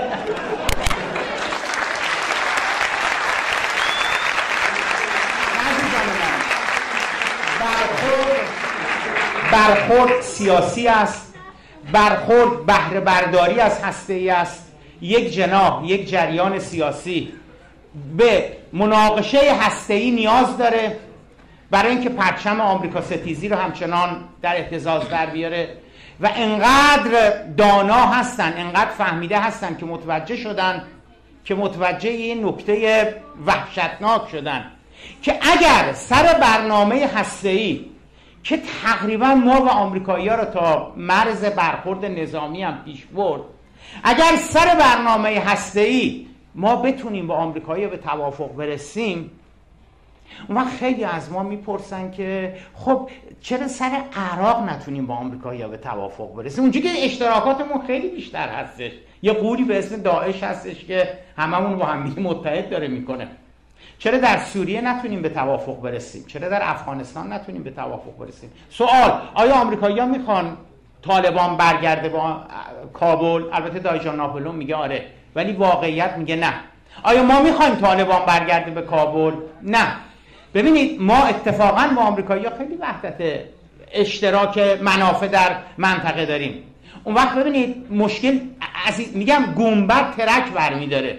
ترک برداشته فی برای اینکه برای اینکه اون وقت آمریکا ستیزی رو که حیات و ممات و زندگی و روح و جسم و همه چیز این اقلیت 8 درصدی است آمریکا ستیزی رو دیگه چجوری بفروشن به ما؟ چجوری از آمریکا ستیزی دفاع بکنن؟ چجوری ازش بهره برداری بکنن؟ اگه آمریکا ستیزی نباشی چی چی بیان بگن فرض کنیم آقای دکتر نبویان امشب می‌خواد بیاد سخنرانی بکنه. فردا اینجا می‌خواد سخنرانی. راجع به چی بیاد صحبت کنه اگه آمریکا ستیزی نباشه؟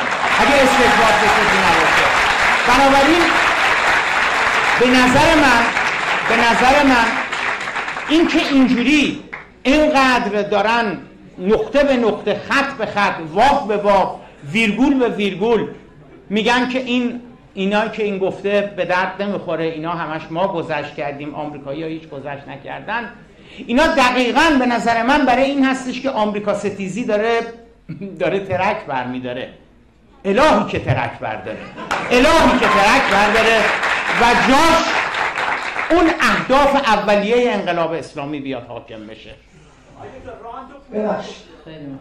رانت و پول دیگه حالا اونا رو ازش صرف نظر. تو مهندسی میگن نجز انقدر کمه که قابله آقای دکتر ما می‌خواستیم به جواب این سوال هم برسیم که دوستان اجازه بفرمایید.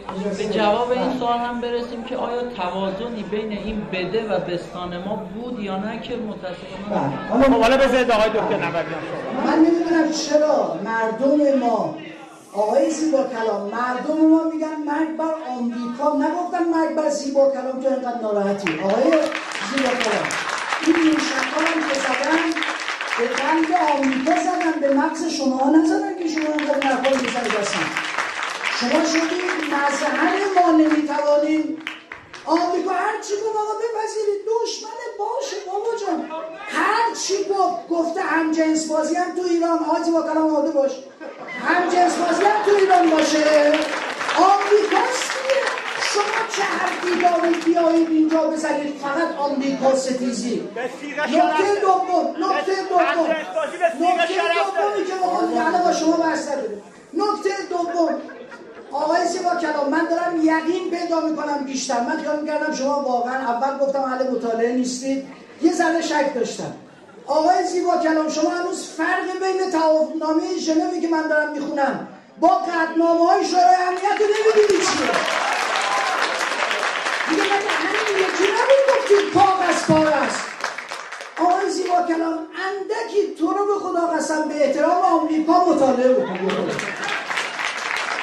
اما جواب این برادر عزیزمون بدم. آقا شونتاشکاری و او حرف نداری بازی با کلام نسبت به اینا. او حرف ندارم. شما اون کار کردید شما گفتید کاغذ کار است. هر کس گفت یا نگفت. شما اگر می‌خواید کاغذ کاری نیست میگم آیا با این کاری که کردید رفتید امضا کردید تونستیم اونی که کاغذ کار نیست رو ازش رهایی پیدا بکنیم یا نه؟ اینو بگو شما. شما گفتید این طوره شما حرفی دیگه ندارید. زدید به اون چیز چوبی یعنی حل مسئله. واقعا چقدر علمی بحث می‌کنه. واقعا ما استفاده می‌کنه های زیبا کلام من من پیشنهاد بخوام برم سیدی های های زیبا کلام هر هست من گوش بدم استفاده بکنم. واقعا بحث علمی زیادی بوده آقای این برادر عزیزمون این نکته فرمودن کجا؟ چون فرمایش شما مستند خواستید باشه. دوستانی که هستن دقت کنن من می‌خوام از این متن بکنم از از قطنامه های شورای امنیت قاطی هم نمی کنم بین توافق با قطنامه کسی که بگه توافق نامه با قطنامه فرق نمی‌گذاره من استاد دانشگاه هم هست بگذار ببینید اون برادر عزیز مستند حرف بزنید. هیاهو ممنوع اینجا دانشگاه سر چهارم نیست. من می‌خونم براتون. برای این دیگه مال فکشید آمریکایی نیست. اون نقطه 3 و 6 و 67 درصد که فرموده سردش کجاست؟ متن توجیه.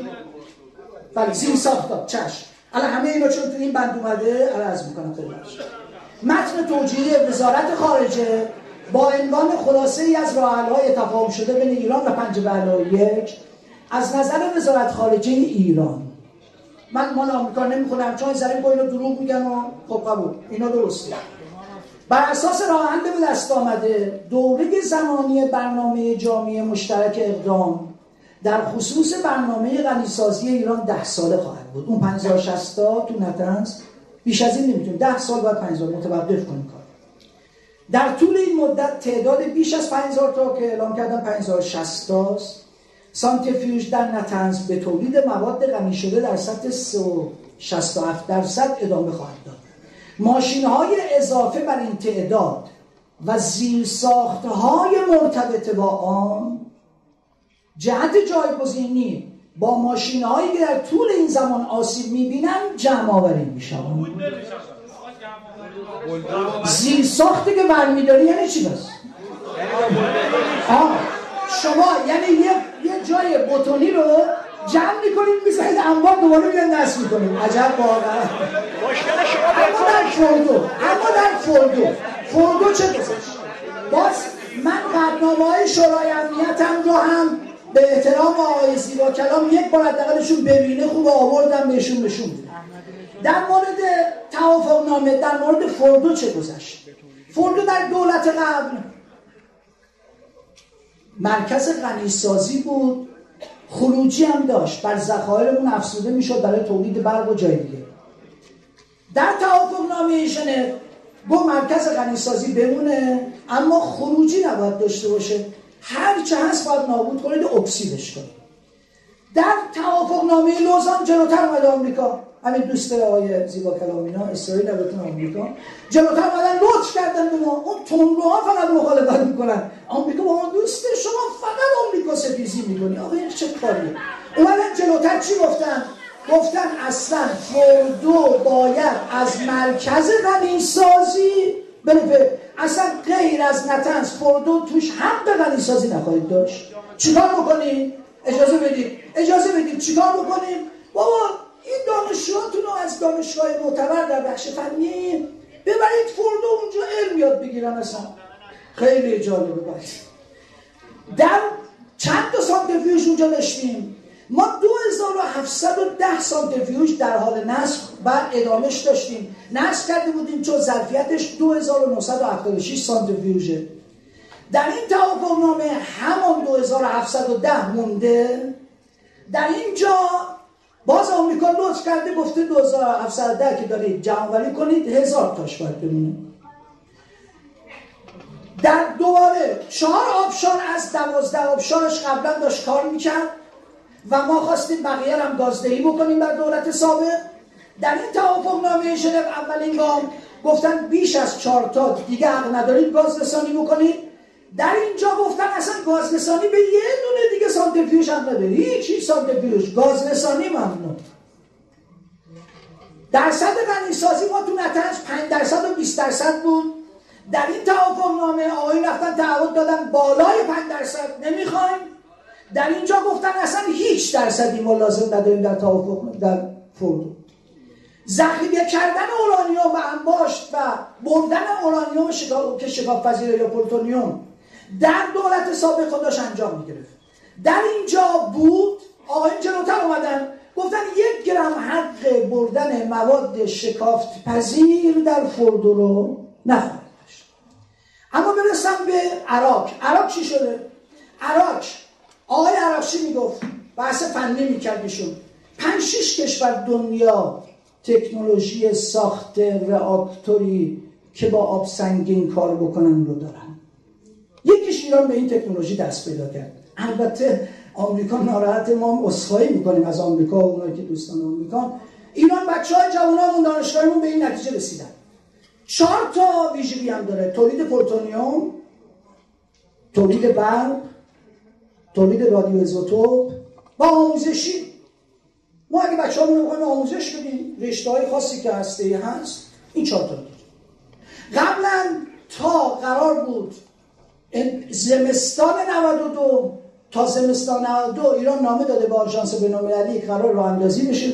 سوخت مجازی بهش تزریق بشه.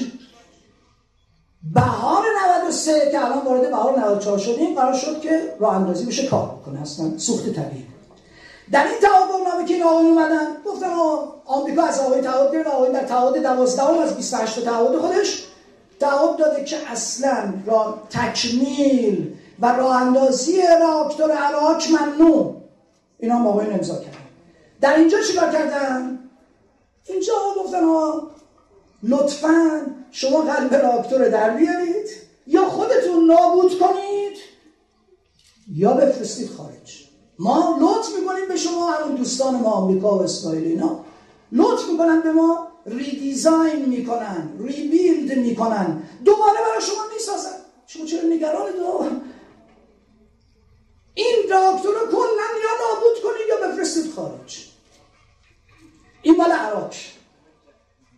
در مورد تحقیق و توسعه بگم. بعد آخرش هم براتون چون خیلی آیه زیبا کلام علاقه دارن به بحث تحریمات تحریمات رو عرض می‌کنم یه نظارت ها میمونه که عرض می‌کنم. و تحقیق و توسعه ما تحقیق و توسعه به صورت کامل در دولت قبل انجام می‌شد. به ویژه در زمینه چرخه سوخت هستی دوستان اینجا هم همشون اهل مطالعه. مطالعه کنید. اگر فرصت کردید مواد پروتکل الاغی رو ببینید. تو ماده 18 من از اون می‌خوام براتون بخونم. اصلا تحقیق و توسعه در مورد چرخه سوخت هسته‌ای چیه؟ فعالیت های تحقیق و توسعه مربوط به چرخه سوخت هسته‌ای عبارت است از فعالیت است که با جوانب فرایند یا توسعه سیستم هایی به شب زیر ارتباط ویژه دارند. تحقیق توسعه ببینید چیه؟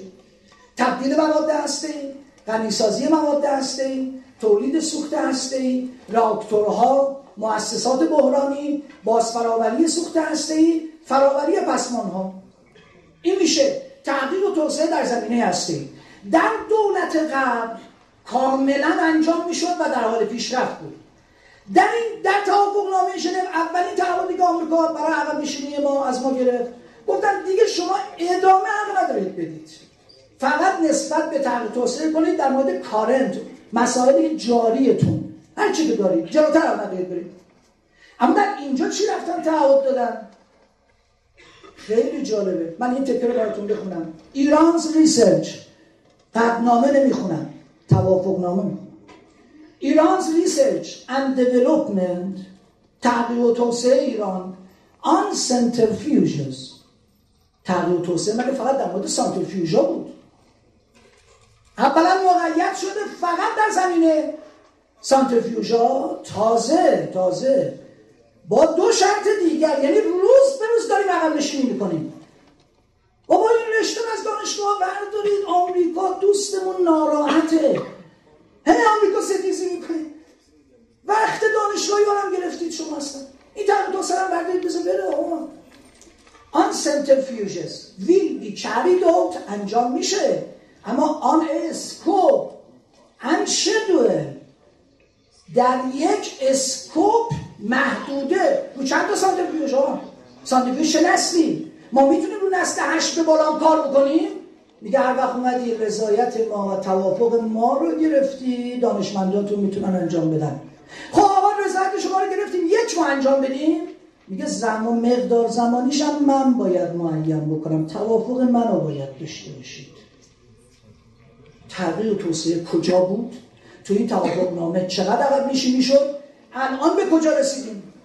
این شده تغییر توسعه ما. فقط هم سانترفیوژ تغییر توسعه مگر در تو سانترفیوژ داره بحث هسته ای این همه موارد خود پروتکل الاغی داره. اما یه بخش دیگه هم میمونه. من نمی‌دونم وقت الان من بگم دو بخش من دارم. یه بخش بازرسی هاست که ما غیر از بحث هسته ای به خدا قسم میترسیم از بچه هامون از دانشمندان هسته ایمون اینجا یه عبارتی اومده. خیلی خطرناکه. براتون بخونم براتون. بله؟ ناشناش عده در اومده بعد در اینجا چی بوده؟ ایران اجازه نمی‌داد هر جور بیان بازرسی بکنن. قبل از می‌گفت شما تمام دوربیناتون نصفه اضافه برای چی می‌خواید؟ تمام دوربینا در هر جا دارید نصفه من اون نکته هم که ایشون فرمودن که اشتباه بود درس بکنم. میگن یه کشوری 3.5 درصد 3 درصد هر چه 5 درصد بتونه قابلیت داشته باشه قابلیت تولید بمب هم داره.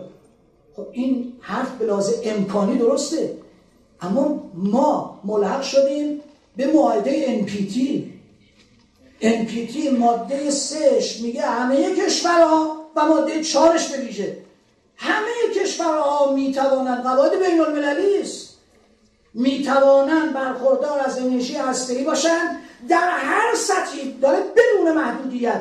ما می‌خوایم نسل 20 داشته باشیم نسل 30 سانتریفیوژ داشته باشیم. ذخایر تا 90 درصد داشته باشیم 80 درصد داشته باشیم. بر اساس معاهده این قاعده بین‌المللی است کی نظارت می‌کنه که این سرامیز بودنشو؟ آژانس. آژانس داره نظارت می‌کنه. چرا ما نباید داشته باشیم؟ میگن از این داشته باشی قابلیت اینی داره. آقا قابلیت اینی داره دلیل بر امکان یک شی دلیل بر وقوع اون شی نیست. شما امکان داره اینجا باشید اما الان واقع که نشده که. این چه حرفیه؟ چون شما این قابلیت دارید. پس NPT چیه قوانین بین‌المللی؟ این که ما چون ادعا کردیم شما نمیده با اسرائیل مخالف اسرائیل می‌خواد از بین ببریم این شد هر بالا سر ما وایستادن این به نظرم یه مقدار ساده سازی مسئله است. اما اونی که من اینجا بازرسی ها رو بخونم تو اینجا چی رفتن تعهد دادن؟ بعد آقای دکتر رو بفرماد من بحث تعلیم رو می‌ذارم آخرش. آقای رفتن سه آذر 92 تعهد دادن. تقریبا تمام اطلاعات هسته ایمونو دست آژانس و از اون طریق دست آمریکا بذارم من می‌خونم از اون می‌خونم. از 28 تا تعهدی که ما داریم. سه آذر 92 6 ماه نه 6 ماه دیر بود. ظرف سه ماه تعهد دادن و این کارم انجام دادن. بخونم براتون. این هنس مانیتورینگ. بازم توافق نامه ژنو می‌خونم. قطع نامه نمی‌خونم. نز ارائه اطلاعات ظرف سه ماه در مورد تمام برنامه ایران در مورد تاسیسات هسته‌ای. توصیف و شرح هر ساختمانی که در هر سایت هسته‌ای وجود دارد. سه. توصیف میزان و سطح فعالیت هایی که در هر مکان مربوط به فعالیت های خاص هسته‌ای انجام می شود چهار. ارائه اطلاعات مربوط به معادن اورانیوم. پنج. ارائه اطلاعات مربوط به کارخانه های تولید اورانیوم. 6 ارائه اطلاعات مربوط به مواد منبع. هفت. تسلیم یک پرسشنامه بروز شده از اطلاعات طراحی راکتور عراق به آژانس. 8 برداشتن گامهایی در موافقت با آژانس در جهت اعمال پادمان در مورد راکتور عراق. 9 زمانی که بازرسان آژانس برای راستی آزمایی اطلاعات معین اطلاعات موقت و سرزده ببینید پروتکل علاقی توش چیز اومده که نظارت ها می‌تونه سرزده باشه و غیر سرزده. نظارت های سرزده خودش دو قسمه. نظارت سرزده با اطلاع تصریحا اومده. یعنی دو ساعت قبل زنگ می‌زنن ما داریم می‌خوام بیایم ایران اینا ویزا و روادید و اینا باید آماده باشه دو نظارت سرزده بدون اطلاع. پا میشن میرن مثلا تو سایت نتنز ما میشینن زنگ می‌زنن آقای صالحی رئیس انرژی اتمی من اومدم حالا ببین چی میگه. زمانی که بازرسان آژانس برای راستی آزمایی اطلاعات معین اطلاعات موقت و سرزده اطلاعات بازدید فیزیکی و بازدیدهای بدون اطلاع وضوع ندارند باید بتوانند در فردو و نتنز به دوربین های ناظر که آفلاین هستن روزانه دسترسی داشته باشن. دوربین ها آفلاین داره ضبط می‌کنه آنلاینه. میگن نه. با اینکه دوربین داره فیلم برداری می‌کنه بازم میگن آفلاینه. بابا روشنه. چرا؟ آنلاین پس چیه؟ انشالله نخواهند پذیرفت. انشالله نخواهند پذیرفت. آنلاین معنیش اینه طرف تو هر کشور دیگه نشسته و مستقیم داره رصد می‌کنه. ما الان اجازه نمیدیم. ما الان بچه ها متخصصمون. میرن برای اینکه کار بکنن دوربین اگرچه ضبط می‌کنه. و هم نداره فیلم رو بیرون. چون بالاخره شهید شهریاری رو کی اطلاعاتش داده؟ این همه شهدای هسته این همه کارهایی که انجام شده. برای چی باید دانشمند و متخصصینمون چه نگاریشون همهشون عکسشون و فیلمشون آمریکا داشته باشه؟ بعدی بازرسان آژانس باید دسترسی مدیریت شده داشته باشن به کارگاه مونتاژ سانتریفیوژ بعدی بازرسان آژانس باید دسترسی مدیریت شده داشته باشن به کارگاه تولید روتور سانتریفیوژ بعد آخریش هم بازرسان آژانس باید دسترسی مدیریت داشته باشن به معادن اورانیوم و کارخانه تولید اورانیوم. تا اینجا که بود آژانس راضی نشد. من یه عبارت براتون می‌خونم. بند هفته گزارش اسفند ماه آژانس بین‌المللی نسبت به وضعیت اصلی ایران. بعد از یک سال خوردی که ما عقب نشینی کردیم. ببین چی میگه؟ شورای حکام در قدنامه شورای حکام مال آژانس بین‌المللی است. مورخ نوامبر 2011 خود. تاکید کرد که برای ایران و آژانس ضروری است به منظور حل و فصل فوری همه مسائل محتوایی باقی مانده با هدف روشنگری در خصوص آنها شامل دسترسی ببینید چی می‌خوان از ما؟ شامل دسترسی به تمام اطلاعات مربوطه مستندات سایت ها مواد و اشخاص در ایران به گفتگوهای خود شدت بخشن اشخاص هم اشخاصی که اینا دنبالش هستن کیه؟ حتی اینا مثلا سعی چهار رو نیستن در بحث اصلی اشخاص به کی میگن؟ یک جا دو جا نگفته. متاسفانه در این توافق نامه این عقب نشینی تا اینجا بود. بود enhanced monitoring. اینجا علاوه بر enhanced monitoring داره enhanced access. دسترسی بیشتر. دسترسی بیشتر تصریح کرده آژانس. ما اشخاص رو باید در اختیار ما قرار بدیم. تمام مراکز نظامیتون رو باید در اختیار ما قرار بدید. هر جا دارید. پی ام دی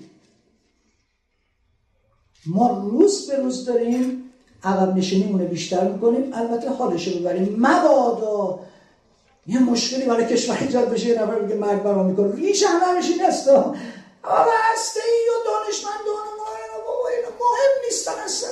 دولت هم گفت کاغذ پاره هست و اینا. مشکل هم اونا بود.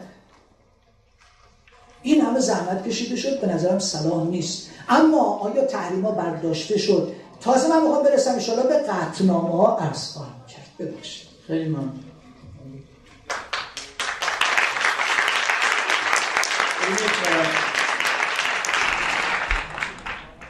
من چند تا نکته اساسی مطرح کردم که به نظر من توی صحبت های آقای دکتر نبویان اینا مخفول ماند. ببخشید من خودم بلدم آقای دکتر تو زمینه بحث هستی و توافق نامه و نه نامه یه خود صحبت کنید ممنون میشه سوال اساسی من اصلا میپذیرم که این جوری که ایشون داره میگه اصلا واقعا اینجوری است. یعنی ما عقب نشینی پشت عقب نشینی کردیم تمام امتیازات رو ما دادیم. اونا هیچ امتیازی ندادن. دیگه این بگو بالاتر از سیایی که رنگی نیست دیگه. سوال. سوال. چه کسی باید در خصوص اینکه توافق لوزان درست است و عیبی نداره اشکالی نداره ما میپذیریم. چه کسی باید در مورد اون در تجزیه و تحلیل نهایی نظر بده؟ همون مردم سر چهارراهی که ایشون توهین کرد دوباره. خب نه اجازه بده اجازه بده اجازه بده اجازه بده اجازه بده من من نوکر اون هستم. نه شما شما آقای آقای نبویان شما و تفکرتون شما و تفکرتون تا زمانی نوکر مردم هستین که مردم براتون هورا می‌کشن. روزی که مردم یه قدم از شما فاصله بگیرن تخم چش مردم رو اندرلزوم در میارید میگید وظیفه داریم تکلیف داریم.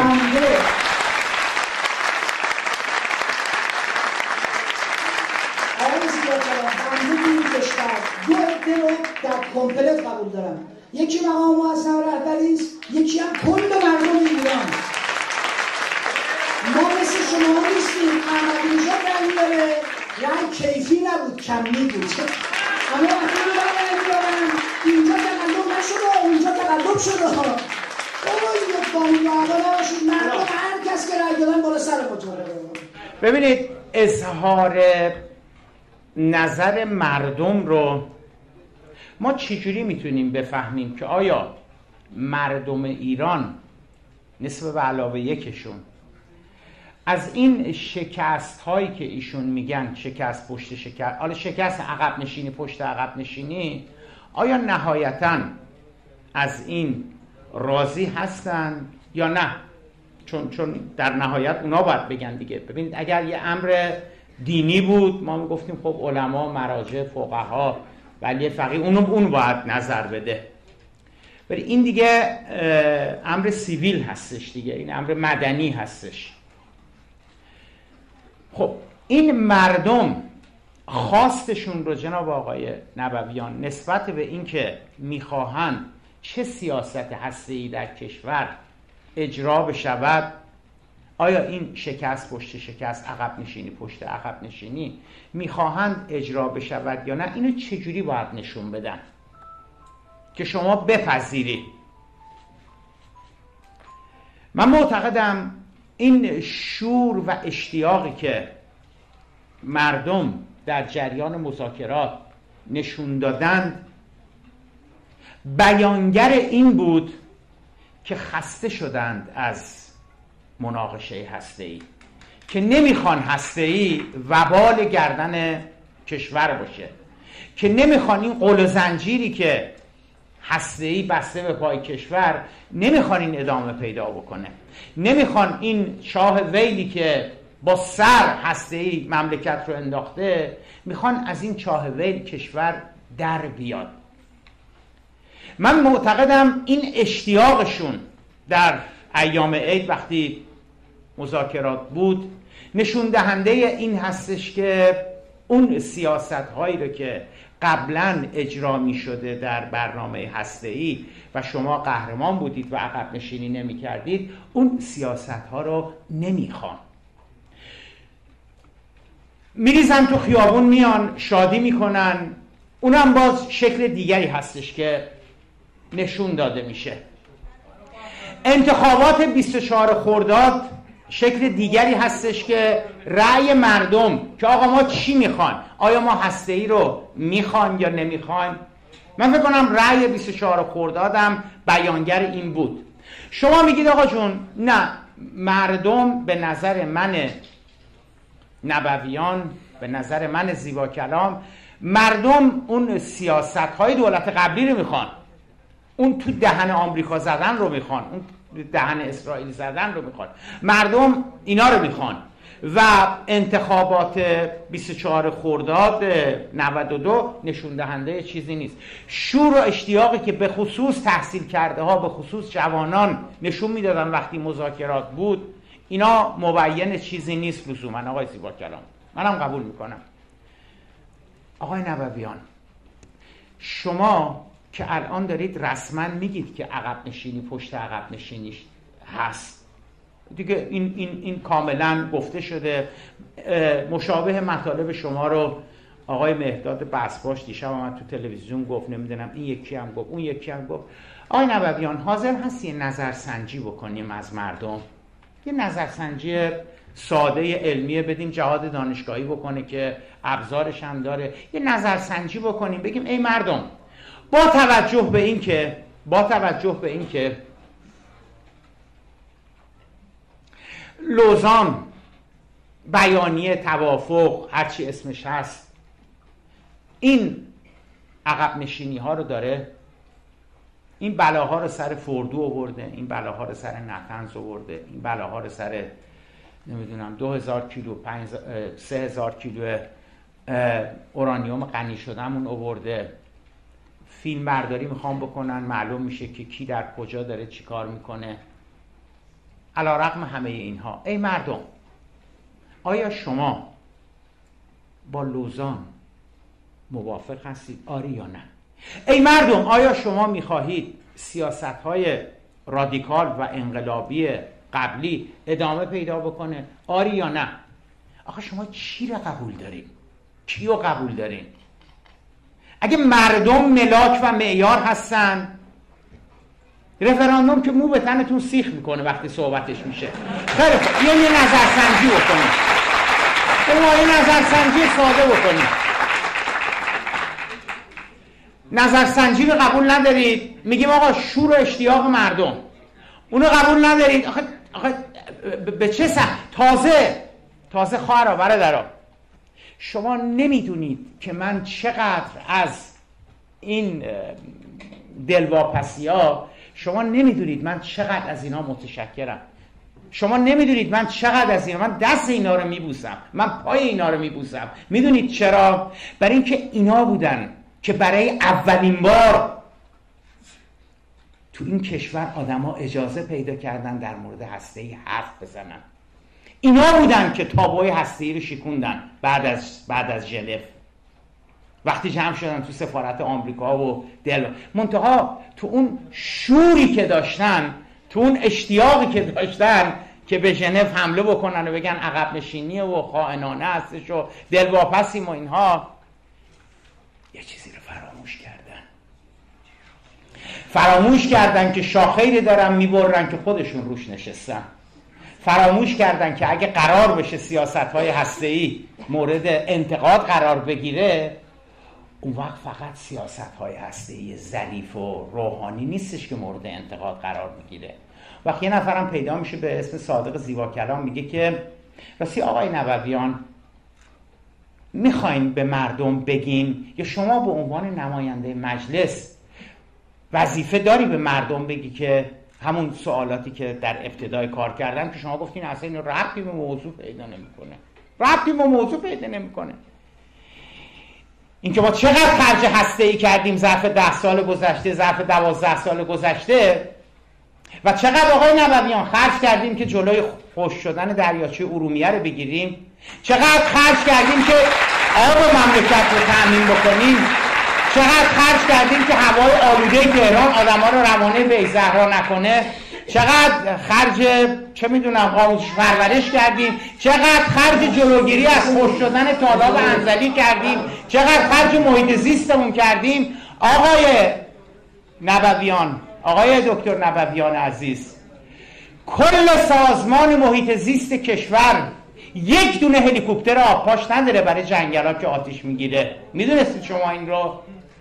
اون وقت شما اوورت با پارو. پول اومدی خرج هسته کردی. آقای اینا رو بگیم به مردم. من میگم حتی بدون اینکه اینا گفته بشه به مردم که ای مردم بدون اجازه شما شیره مملکت رو چجوری ریختن تو هسته ای ظرف در دوازده سال گذشته؟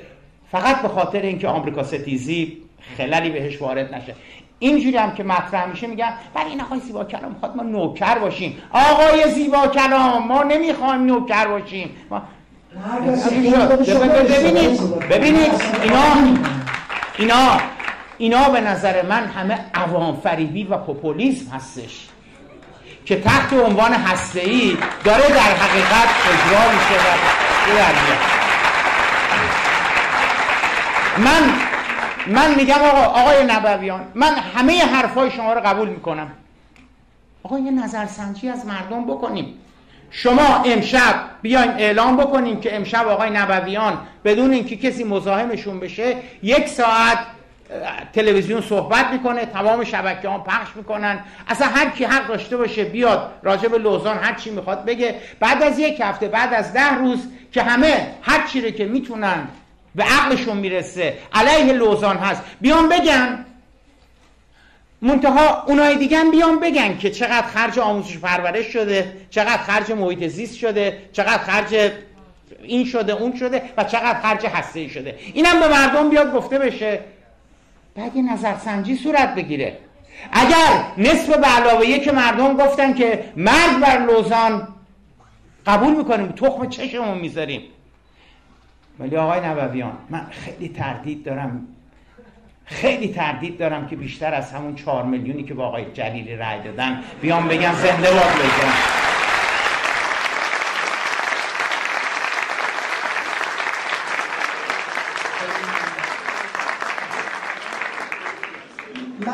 تحریما رو هم توضیح میدم اما قبلش چند تا نکته عرض بکنم.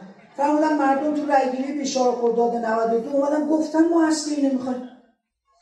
آقای زیبا کلام مردم بیشار خرداد به شما رأی ندادن. به شخص آقای روحانی رأی دادن. آقای روحانی به عنوان دیپلمات هسته است. از اول بوده تا آخرش هم هست و ایشون میگه من دارم از حقوق هسته ای دفاع می‌کنم. پس به تو رأی ندادن به کسی رأی دادن؟ اتفاقا من اخباری دارم از صحبت شما تو دانشگاه ناراحت ایشون که ایشون از زیر اصل هسته رو می‌زنه هستن اما فرمودن اگه من میگم آمریکا ستیزی پوپولیسمه. عجب. شما که میگید آقا باید حرف مردم رو شنید. شما میگید به مردم بگویید که چقدر خرج شده خرج نشده هرچه مردم. پوپولیسم یعنی چی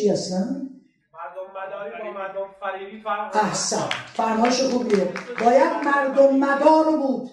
مردم فریب نباید بود. فرمایش بسیار درستیه. دروغ به مردم نگیم هرچه هست بگیم آقا. دروغ به مردم گفته نشه.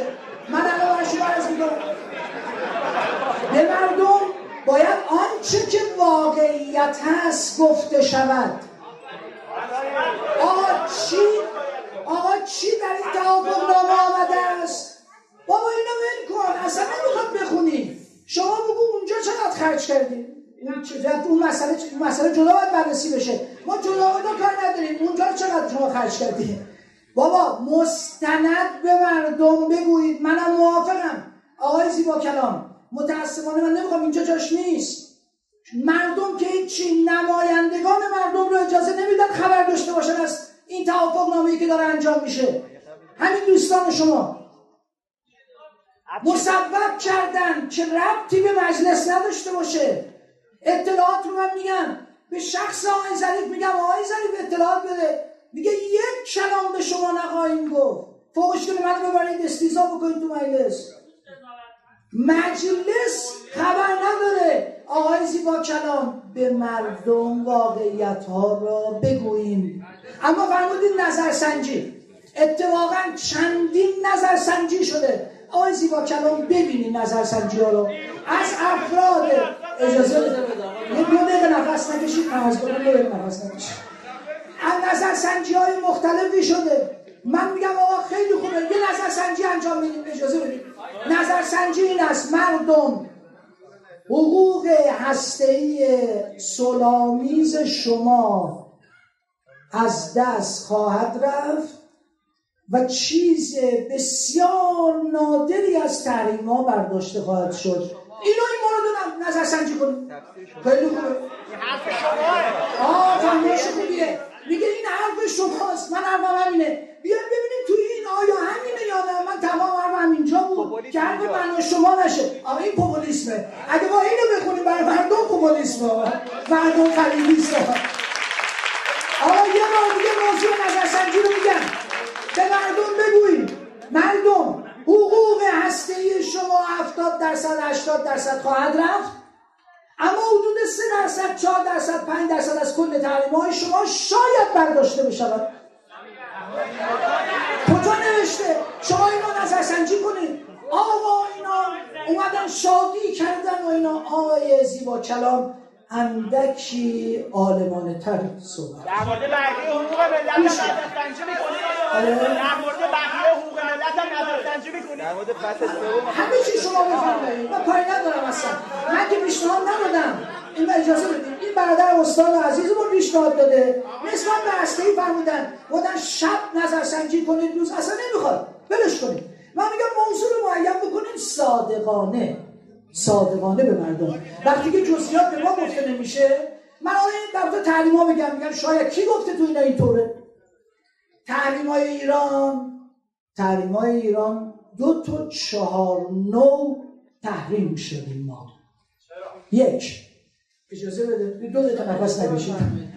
ما اصلا یکی از اشتباهاتمونی که انقلاب کردیم. از اول و از انقلاب کارتر و دیگران و دیگران درگیری و اینا. شما برای چی طرفدار مردم فلسطین؟ به شما چه رفتی داره؟ ما اشتباهی بود که انقلاب به عراق اصلا. اصلا اشتباه. امام بانی انقلاب امام گفت اسرائیل باید از صحنه روزگار محو شود.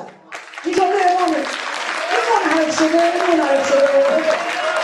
این جمله امامه. اجازه بده. اما تحریما اما تحریما گوش بدن گوش بدن اصلا من اصلا با این همه سرمایه هسته‌ای که به دست آورده ایم. و به روحانی برای توسعه کشور ضروری است. برای اقتصادمون کشاورزیمون پزشکیمون همه همه همه. آیا ما می‌خوایم اینا رو بدیم؟ و چیزی از تعلیما اندکی از تعلیما برداشته بشه؟ بذارید من این رو توضیح بدم. گوش بدید آنچه که واقعیت هست. در مورد تحریما ما دو نوع چهار تا تحریم شدیم. دو نوع چهار تا تحریم شدیم. برای سلامتی من نمی‌دونم آقای خانمی بود یه حرفی زد یه کف دیگه هم بزنید ما دو نوع چهارم مثل که اونایی که کف می‌زنن سلامتی اون شخص رو نمی‌خوان از عده قلیلی زدن اصلا خب برای سلامتی خودتون یه کف می‌زنید. محمد خب باونده باشه الان آقای کف خوششون نمیاد. سلامت میفرستن باونده باشید. ما دو نوع چهار تا تعلیم شدیم. یک نوع تعلیم هایی که اتحادیه اروپا کرده تعلیم های شورای امنیت تعلیم هایی که مربوط به آمریکاست دو تاست. تعلیم هایی که دستورات اجرایی رئیس جمهور این دوستمونی وقتی دو از با محبت ما رو تحریم کرد و بعدش هم کنگره آمریکا ما رو تحریم کردن این چهار تا.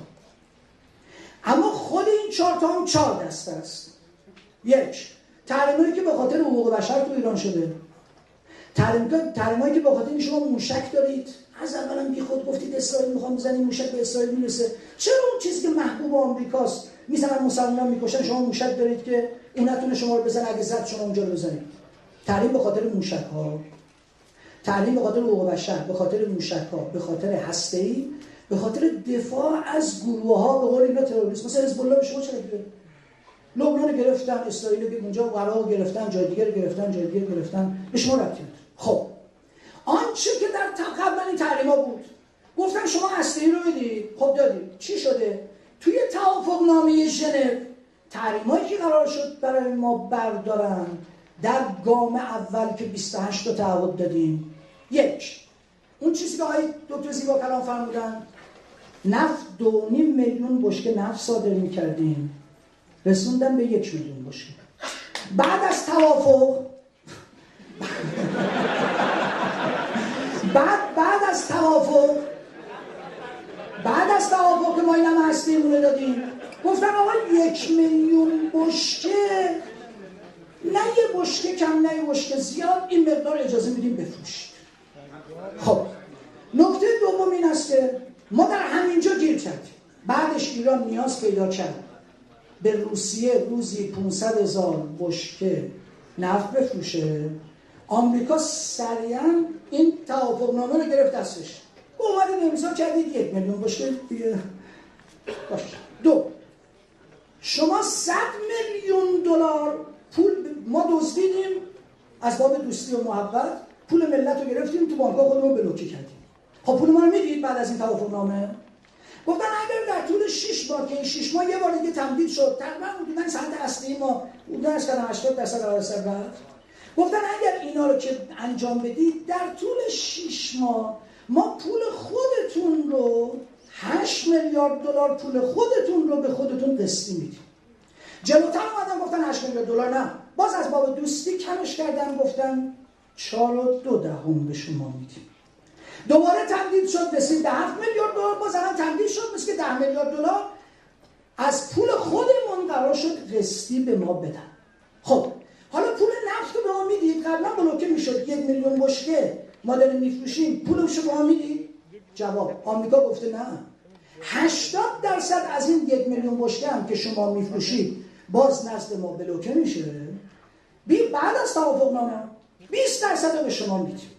الان بلوکه شده ما از 100 تا شده 140 تا. اینا همه از باب محبت و از باب دوستی. خب این 8 4 و 2 و 7 تا رو دادید نکته خوبی رو آیه زیبا کلام اشاره کردم ما 5 6 کشور نفت میفروشیم. یکی شنده. ما مسئولین بانک مرکزی مسئولین کشتیرانی اینا امضا شده آمریکاست. ببینیم انجام شده یا نه. مسئولین کشتیرانی مسئولین بانک مرکزی مسئولین بیمه مسئولین هواپیمایی رو بردیم گفتیم آقا اینجا قرار شد پول به ما بدن. همین مقدار. قرار شد کشتی های ما بیمه بشه. قرار شد دیگه تحریم جدیدی نشویم. no new sanction. این توافق نامه تصریح داره. قرار شد قطعات هواپیما بدن. بگید چند تاشو دادن چند تاشو ندادن.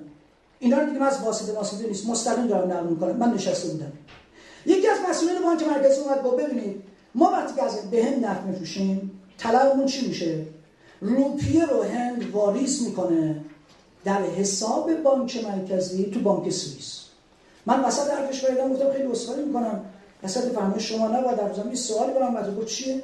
گفتم با روپیه می‌خوام چیکار کنیم الان که توافق کردیم. قرار شد این مقدار پول رو بتونیم بیاریم. کانال مالی باز شد آمریکا باز کرده. تصویر داره. تو این توافق نامه روپیه می‌خوام چیکار؟ چرا دلار یورو نمیاریم با مگه نمی‌دونی؟ دلار یورو برای ایران حرامه. من نگاش کردم گفتم حتما من طلبم میشم مثل شرعی گفتم. اون از مراجع حرام کرده با یعنی تحریمی گفتم آقا اینجا امضا شده یه کانال مالی که این مقدار پول بیاریم. خب حالا سرنوشتش چی میشه؟ گفت اونجا که میره روپیه ما اجازه داریم فقط روپیه رو منتقل کنیم به یکی از بانک های عربی مثل امارات عمان. می‌ذاریم اونجا. تا تاجری پیدا بشه که می‌خواد با هند تجارت کنه منتظر باشیم بیاد این روپیه ها رو بخره. تو این تبدیل و تبدلات خودتون می‌دونید چه مقدار کم میشه. بعد از این تازه چی میشه؟ گفتن دلار میشه. گفت نه. گفتم پس چی میشه؟ گفت تازه میشه درهم. باز صبر می‌کنیم. یه تاجر دیگه پیدا بشه. این درهم رو بیاد از ما. اینا همه بعد از توافق نامه است. همه بعد از 70 80 درصد عرب نشین نیست همه بعد از تعهد آمریکاست. تعهد داده این کارا رو بکنه. منتظر میمونیم کسی درهم بخره. گفتم حالا دلار میشه خب بله. گفتم حالا میارید دیگه. 4 میلیارد دلار اصلا میلیونی وارد می‌کنید. مثل شما فرض کنید بانکی سریعا آقای عراقچی آقای نعمتزاده بودن. گفتم آقا هیچ چی برداشته نشد. ما شبا خورد خورد یه خورده میاریم. ما برگشتیم بهش گفتیم آقا شبا دیگه چی؟ اینجا بود برداشته بشه. آقای نعمتزاده گفت آقا خیالتون جمع بکنم این چی عوض نشد. قبلا هم دلال می آورد الانم این از پول ما. الان نمی‌دونیم چه مقدار از همون مقدار اومده. گفتن ما بر میداریم کامل این آمریکا یعنی دو. گفتم حالا بیمه کشتی ها بیمه شده؟ بعد از هشت ماه این قرار شد بلافاصله بیمه کنن. مسئول بیمه بیمه کشتیرانی اومده بود مسئول کلش. گفت تا به حال یک دونه کشتی ما رو بیمه نکرد. گفتم هواپیمایی چی شده؟ قطعات آوردید مسئول مذاکره کننده تیم اصلی گفت اوه این مسئولین ما هیچ متوجه نیستن. اونا وظایفشون خودشون درست انجام دادن. گفتم حالا چی شده؟ گفت خیال می‌کردن که با تعاون باید ما هواپیما بفروشن. نه. قرار بود ما سوخت بدن نه. قرار بود به ما قطعه بدن. حالا قطعه دادن با همون راحتی گفت مسئولی با خیال کردن که قطعه بخواد بگن سوپرمارکت مذاکره لازم داره. بابا ما تعهد کردیم که بریم اینا رو بگیریم. الان چقدر؟ اجازه بدید. چقدر رو ما آوردیم؟ چقدر قطعه دادن؟ اینا یک سال خوردیست که آمریکا پاش امضا کرده است. این مال توافق نامه الان چی شده؟ آیا چیزی که از تحریم برداشته نشد. من میگم بابا هسته ای رو کلشو بدین. اشکال نداره. فلای سر بی خود اصلا دانشمندان هم سوار این دستگاه کنیم و بفرستیم. هیچی نخواستیم. تحریم ها رو بردارید دیگه آخه. چی, چی توش اومده این تحریم ها پس به مردم بگوییم حقوق هسته ای شما برود و تحریمی هم برداشته نشه نظرسنجی بکنیم. این متن حقیقت رو مردم بگیم برادر از اون فرمایش خوبیه مردم فریبی نکنیم. مردم رو تحریم رو من الان که تو این اومده براتون بخونم. فرمایش خوبیه اونم داشته باشه آخرش دکتر جون جالبیه درسته؟ من اشاره خواهم کرد. براتون بگم تو این چی اومده؟ ببینید عین عبارت قطنامه است بله؟ عین عبارت توافقنامه است. ببینید چی میگه؟ میگه the EU اتحادیه اروپا. will terminate مختومه اعلام می‌کنه. چه چیزی را؟ اجرای تمام تحریم ها با سه چهار تا شرط. یک تمام تحریم های فقط هسته ای پس سه تحریم دیگه داریم. حقوق بشر موشکی. بله الان این چی شده دیگه؟ من میگم همینا رو به مردم بگیم. بگیم مردم گفتن همه تحریم ها رو بر نمیداریم. یک چهارم از اون یک چهارم هم یک پنجمشو. این می‌دونستیم بابا. حالا اجازه بخونم. یه دو دقیقه نفس نکشید بله. نوکلیر ریلیتد خب همه هسته ای؟ نه. جالبه تو این توافق نامه اومده تو گام نهایی که باید کامپلینسیو لیفت کنیم. همه تحریم ها رو برداریم. رفتن هستیمون رو بدیم و هستی داریم که همه تحریم ها رو برداریم. همه تحریم هایی که مربوط به تصویر داره تجاری هست مالی هست تکنولوژیک هست اقتصادی هم هست. اینجا چی اومده؟ دوباره قدم اول میشینیم. باز البته مربوط به هسته باز. اینجا اومده گفته اکانومیک and financial sanction. اقتصادی و مالی. اما اگه بخوام بچه همون آموزش ببینم از فنلاند و نروژ گرفتن اخراج کردن. خب اخراج باید بکنن حق ندارن اصلا ندارن تو بخش های فناوری ما می‌خوایم نه حق ندارن. خب حالا مشروط به چیه؟ مشروط به این است که اولا ایران به تمام تعهدات کلیدی که میگیم انجام بده. دو دو. تازه آژانس وریفای بکنه. اگر راستی آزمایی کرد و و اگر تایید کرد انشالله خدمت شما. تازه اتحادیه اروپا گفته اجرای این تحریم رو با این شرایط من لغو می‌کنم نمیگه قانونش را. قانون سجا خودش از هر وقت از فقط دوره میاد. مثل تعلیق اما تحریم آمریکا. بله اما تحریم های آمریکا. US. اول آمریکا اعلام کرده تحریم هایی که مربوط به خودمه. دستورات اجرایی من و کنگره که مربوط به شرکت های خودم و داخل کشور خودم اصلا خبری نیست. ثانیا terminate هم نمی کنم cease می کنم ثالثا هم چه تحریم های شما قرار cease بکنید secondary sanction secondary sanction یعنی چی؟ یعنی اگه یک شرکتی در اتحادیه اروپا با ایران رابطه داشت شرکت های فرامرزی من اون به اونا به اونا تحمیل نمی کنم که با ایران رابطه نداشته باشن. اون قرار بود اتحادیه اروپایی داره انجام بده دیگه. با شما چیکار کردید بعد میگه cease می‌کنم terminate نمی‌کنم. تازه مشروطه به دو شرطه. یک ایران اول به تعهداتش. دو شما یه دونه گزارش از آژانس فردید بیاد که ایران. همینجا من آخرین گزارش یک مورد دو مورد ده مورد نیست. میگه اینجا رو قبول ندارم اونجا رو قبول ندارم اونجا رو قبول ندارم. من باید به اشخاص دسترسی پیدا بکنم. اون به اشخاص دسترسی دسترس من قرار نمیده.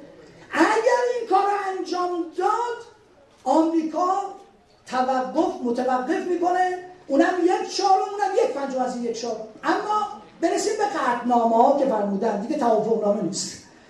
قرار شد. یک دونه. تو این اومده. یه دونه قطنامه ایران از اون طرف داده بشود. که چیکار بکنه؟ واقعا اگه تو اینجایی که به مردم میگن راست باشه که ما باید کلام رو بسیار متشکریم از اینا. واقعا. میگه قرار چیکار بکنه؟ قرار ترمینیت بکنه همه قطنامه های قبلی را. همین همین تموم شد؟ دیگه چرک نمی‌زنیم؟ آمریکا گفته من ترمینیت می‌کنم. جالبه. یه قطنامه میدم اولا همه اون تعهدات رو باید انجام بدید ثانیا تایید می‌کنم که تعهدات باید انجام بشه. تا حالا ما قدنامه شورای امنیت می‌گفتیم غیر قانونیه الان خودمون می‌خوایم خودمون رو ببریم تحت فصل هفتم منشور سازمان ملل. یه باری آیا یکی از تیم از اعضای تیم مذاکره کننده اومد من دیگه اسم نیارم. اسم نیارم آقای عراقچی. اومده بود می‌گفت این تیم چون تو فرمایش های دکتر بود من ذکر کنم. این تیم تونسته. اولین بار. ناجی کشور بشود گفتیم چرا؟ گفت هر کشوری که تحت فصل هفتم منشور سازمان ملل بره حتما منتهی به جنگ میشه. بله حالا شما اجازه بدید. شما بحث جای دیگه ندارید. هر کس اشتباه کرد باید خودش بگه. الان من دارم اینو تحلیل می‌کنم. با بنده باشید. هر کس بره تحت ببینید همیشه می‌خواد از بحث فرار کنید. اون یکی چرا اینجوری شده دوام اون چرا تجربه به من چرا ربطی داره؟ هر کس به جواب خودش بده من دارم اینو تحلیل می‌کنم. من مدافع هیچ کس نیستم. با بنده باشید با بنده باشید با بنده باشید آقای عراقچی گفت اگر کشوری تحت منشور سازمان ملل بره هفت هفتمش حتما منتهی به جنگ و ما با مذاکره توانستیم ناجی کشور بشیم و ایران رو از تحت فصل هفتم منشور سازمان ملل می‌خوایم خارج کنیم. ما خیلی خوشحال شدیم. پیروز متوجه شدیم تو جلسه من با وزیر خارجه گفتم. گفتم آیه وزیر خارجه تو الان می‌خوای یه قدنامه صادر بکنی دوباره ایران بره بمونه تو فصل هفتم؟ تصریح کردن که یه قدنامه جدیدی که ایران را ببرد تحت فصل هفتم منشور سازمان ملل. من به آقای سریف گفتم آخرش من نفهمیدم. هر کس بره منتهی به جنگ میشه و شما ناجی هستید یا می‌خواد ایران وارد جنگ بکنید بالاخره. تو این قدنامه می‌دونید قدنامه که شورای امنیت الزام آور است. بین المللی است. به قول شما کاغذ نیست. الان قرار اونا لغو بشه. تحریم های اساسی دوباره تو بر... توی تحریم توی قدنامه جدیدی که تا حالا ما غیر قانونی می‌دونستیم. الان میگیم کل دنیا این تحریم ها و این محدودیت هایی که ما میگیم رو خودمون هم قبول داریم. بین المللی قبول داریم اصلا. بخونم عبارتو A new UN Security Council Resolution. یه قطنامه جدید مربوط به سازمان ملل. ویل ایندورس حمایت می‌کنه. چه چیزی را? JCPOA Joint Comprehensive Plan of Action. این قراره بشه.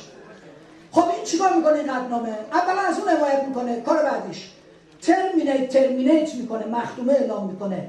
All previous nuclear related resolution. تمام قدنامه های مربوط به هسته ای رو مختومه اعلام می‌کنه. And دیگه انجامت مردم نمیگیم میگیم آقا قرار یه قدنامه بیاد همه رو برداره.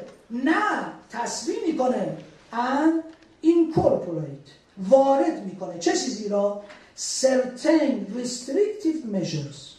یه سری تدابیر محدود کننده دیگری. ما بین المللیش می‌کنیم. ایران خودش می‌خواد با ایران امضا بکنه. چه چیزی را؟ غیر از تحریم که هستیم. غیر از اون چیزا محدودیت هایی که تو نتنز پذیرفتیم. تو فردو پذیرفتیم. تو بازرسی ها پذیرفتیم. دیگه اینا دیگه چیه؟ من نمی‌دونم. چرا میگم غیر؟ چون اول گفته اون قطنامه این دورس می‌کنه. اجرای این توافق نامه خود توافق نامه همون محدودیت هاست دیگه. دوباره میگه یه سری چیزهای جدید میاریم آخرین نکته در باب این قدنامه من باز میگم که بسیار بده. خب میگه چیکار بکنیم؟ آقای ظریف گفته چجوری الزام آور باشه؟ اونا زیرش نزنن. جوابش اینه از اینا بنویسیم تو توافقنامه لازم نیست بنویسیم همه لغو می‌شود.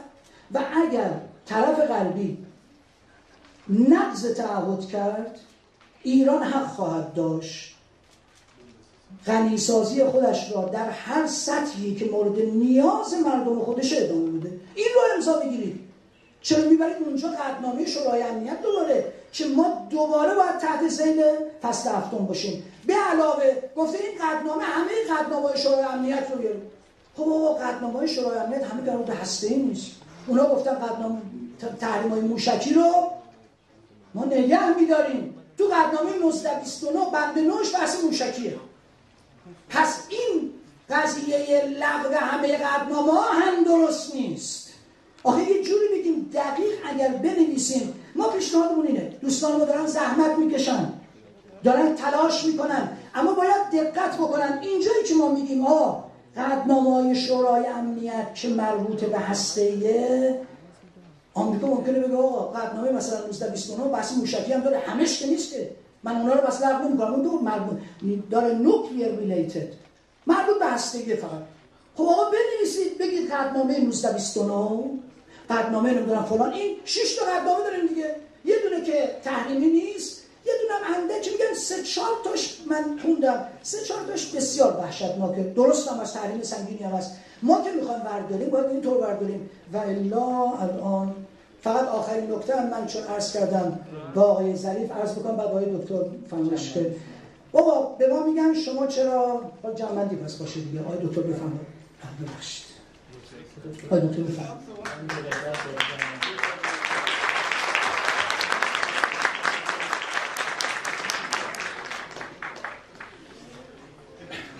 من سعی می‌کنم تو پنج دقیقه کمتر بیشتر جنبندی بکنم.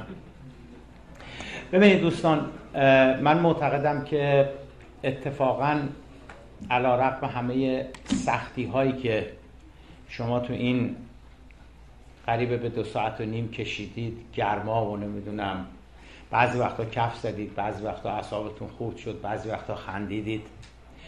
دوستان باور کنید من این رو به عنوان کسی که رشته اصلیش کار اصلیش تاریخ تحولات سیاسی و اجتماعی ایران هستش دارم بهتون میگم.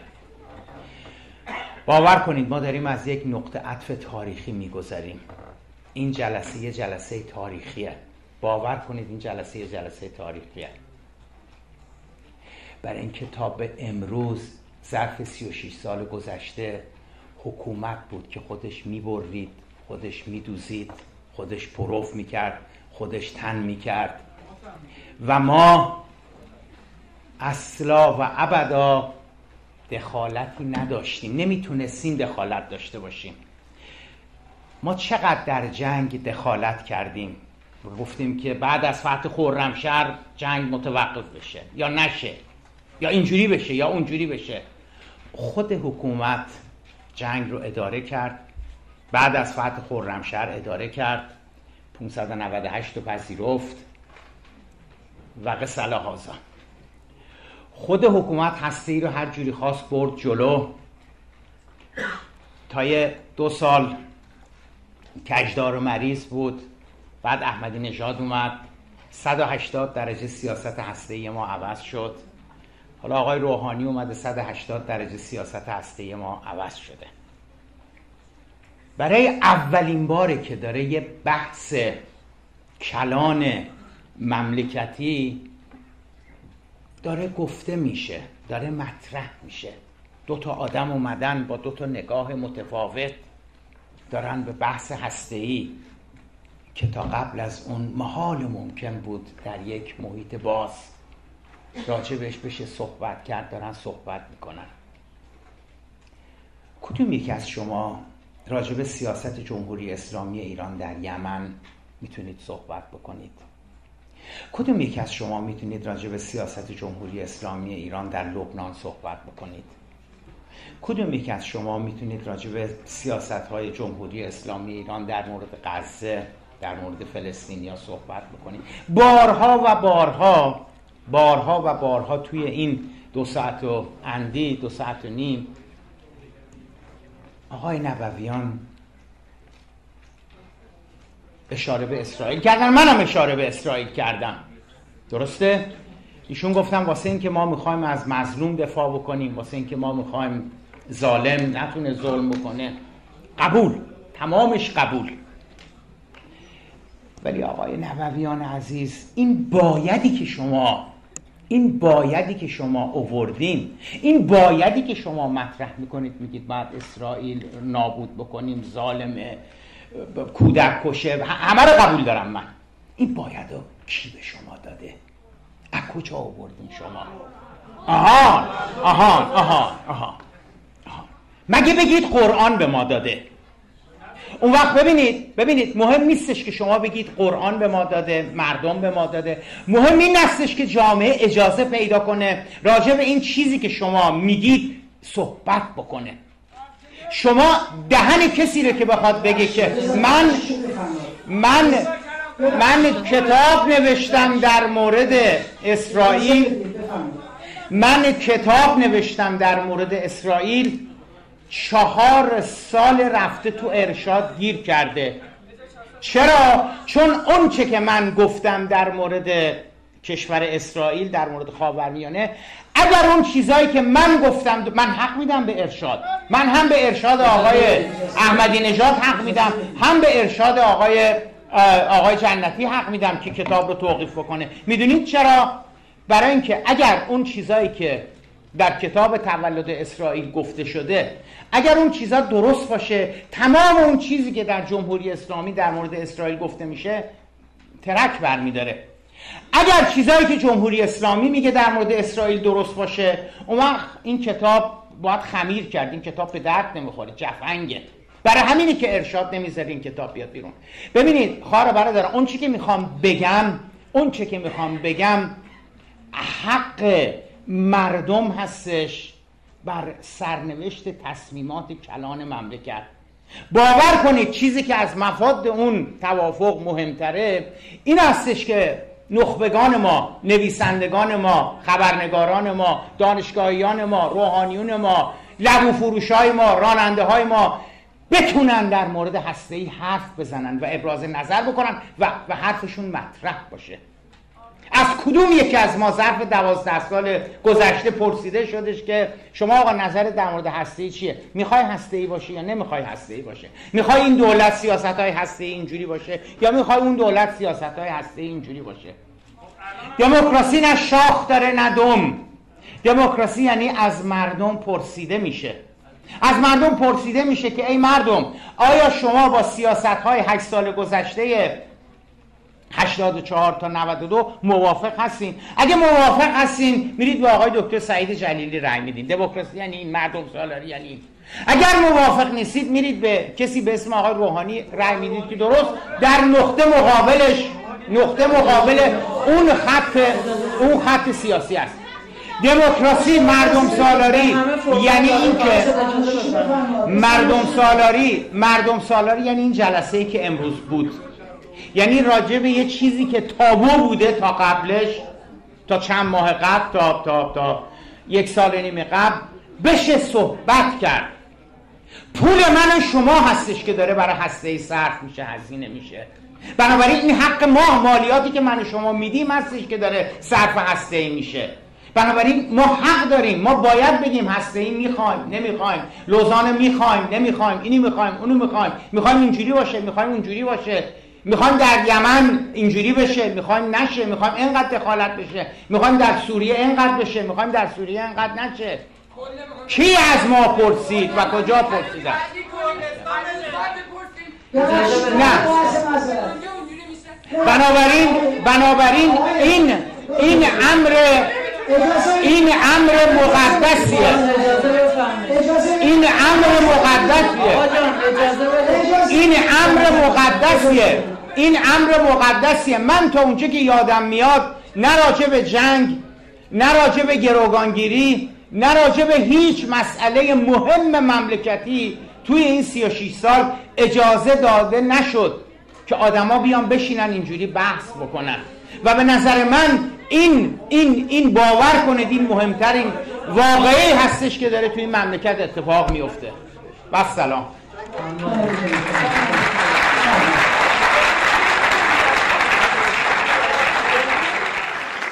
من خیلی تشکر می‌کنم از سردار عزیزم جناب آقای دکتر زیبا کلام. به ویژه از حضور شما که اینجا وقتتون رو در اختیار ما قرار دادید. پرسش و پاسخ هم خواهیم داشت. بله حالا من این نکته اگه فرصت بشه ما هستیم خدمت شما. فقط این نکته رو عرض بکنم. اینکه باید هی بحث رفراندوم و مو بر بدنمون سیخ میشه بحث رفراندوم میشه. نه من اتفاقا آقای زیبا کلام شما فکر نمی کنید که ما باید بیایم در تو سیاست های دانشگاه هم از مردم رای گیری کنیم؟ اصلا دانشگاه کارهای علمی می‌کنن نمی‌کنن. اصلا آقای زیبا کلام تو کلاس چه چیزایی میگه؟ اشکال نداره ما رای گیری کنیم نظرسنجی از همین امشب. شما یه رأیگیری گفتی من یه رأیگیری دیگه میگم. تحریف اصلا نکن حرفای منو. میگم اجازه بدیم حرف بزنن. نه شما رأیگیری رو شما. اجازه نمیدی حرف بزنن. چرا؟ میگید مخل امنیت ملیه. آدما رو احضار می‌کنی به اتفاقا- دادگاه میگید الان فرمان میگید میگید تشکیل احکام عمومی کردی من علیه اصلی به حسین شریعت مداری نامه نوشتم 18 هم واسه من زندان بریدی فقط گفته بودم هسته شریعت کی بوده من میگم این حق رو از مردم فرمایش کنم. خب بله ما تو این جلسه متوجه شدیم آقای زیبا کلام یک بار بحث رفراندوم و نظرسنجی رو نکرده. فقط گفته که حق صحبت این یک نکته. من تعریف کردم فرمایش ایشون رو اصلا ایشون اصلا بحث نظرسنجی مطرح نکرده من دوباره مطرح آقای آقای زیبا کلام. دیگه من اینجا نشستم از جای دیگه. نمی‌کنم اینقدر واضح خلاف نگید. شما مطرح کردید این رفراندوم. مو بر بدن شما. مگه شما نگفتید؟ مگه نگفتید نظرسنجی باید بشه؟ من میگم آقا نظرسنجی کنیم. دانشگاه امثال آقای زیبا کلام دارن چیکار می‌کنن؟ مردم پول میدن برای این دانشگاه دولتی.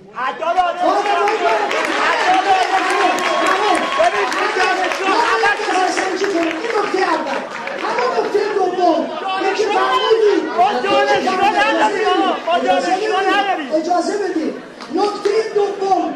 نکته دوم. فرمودن که ما این جلسه جلسه مهمی بود.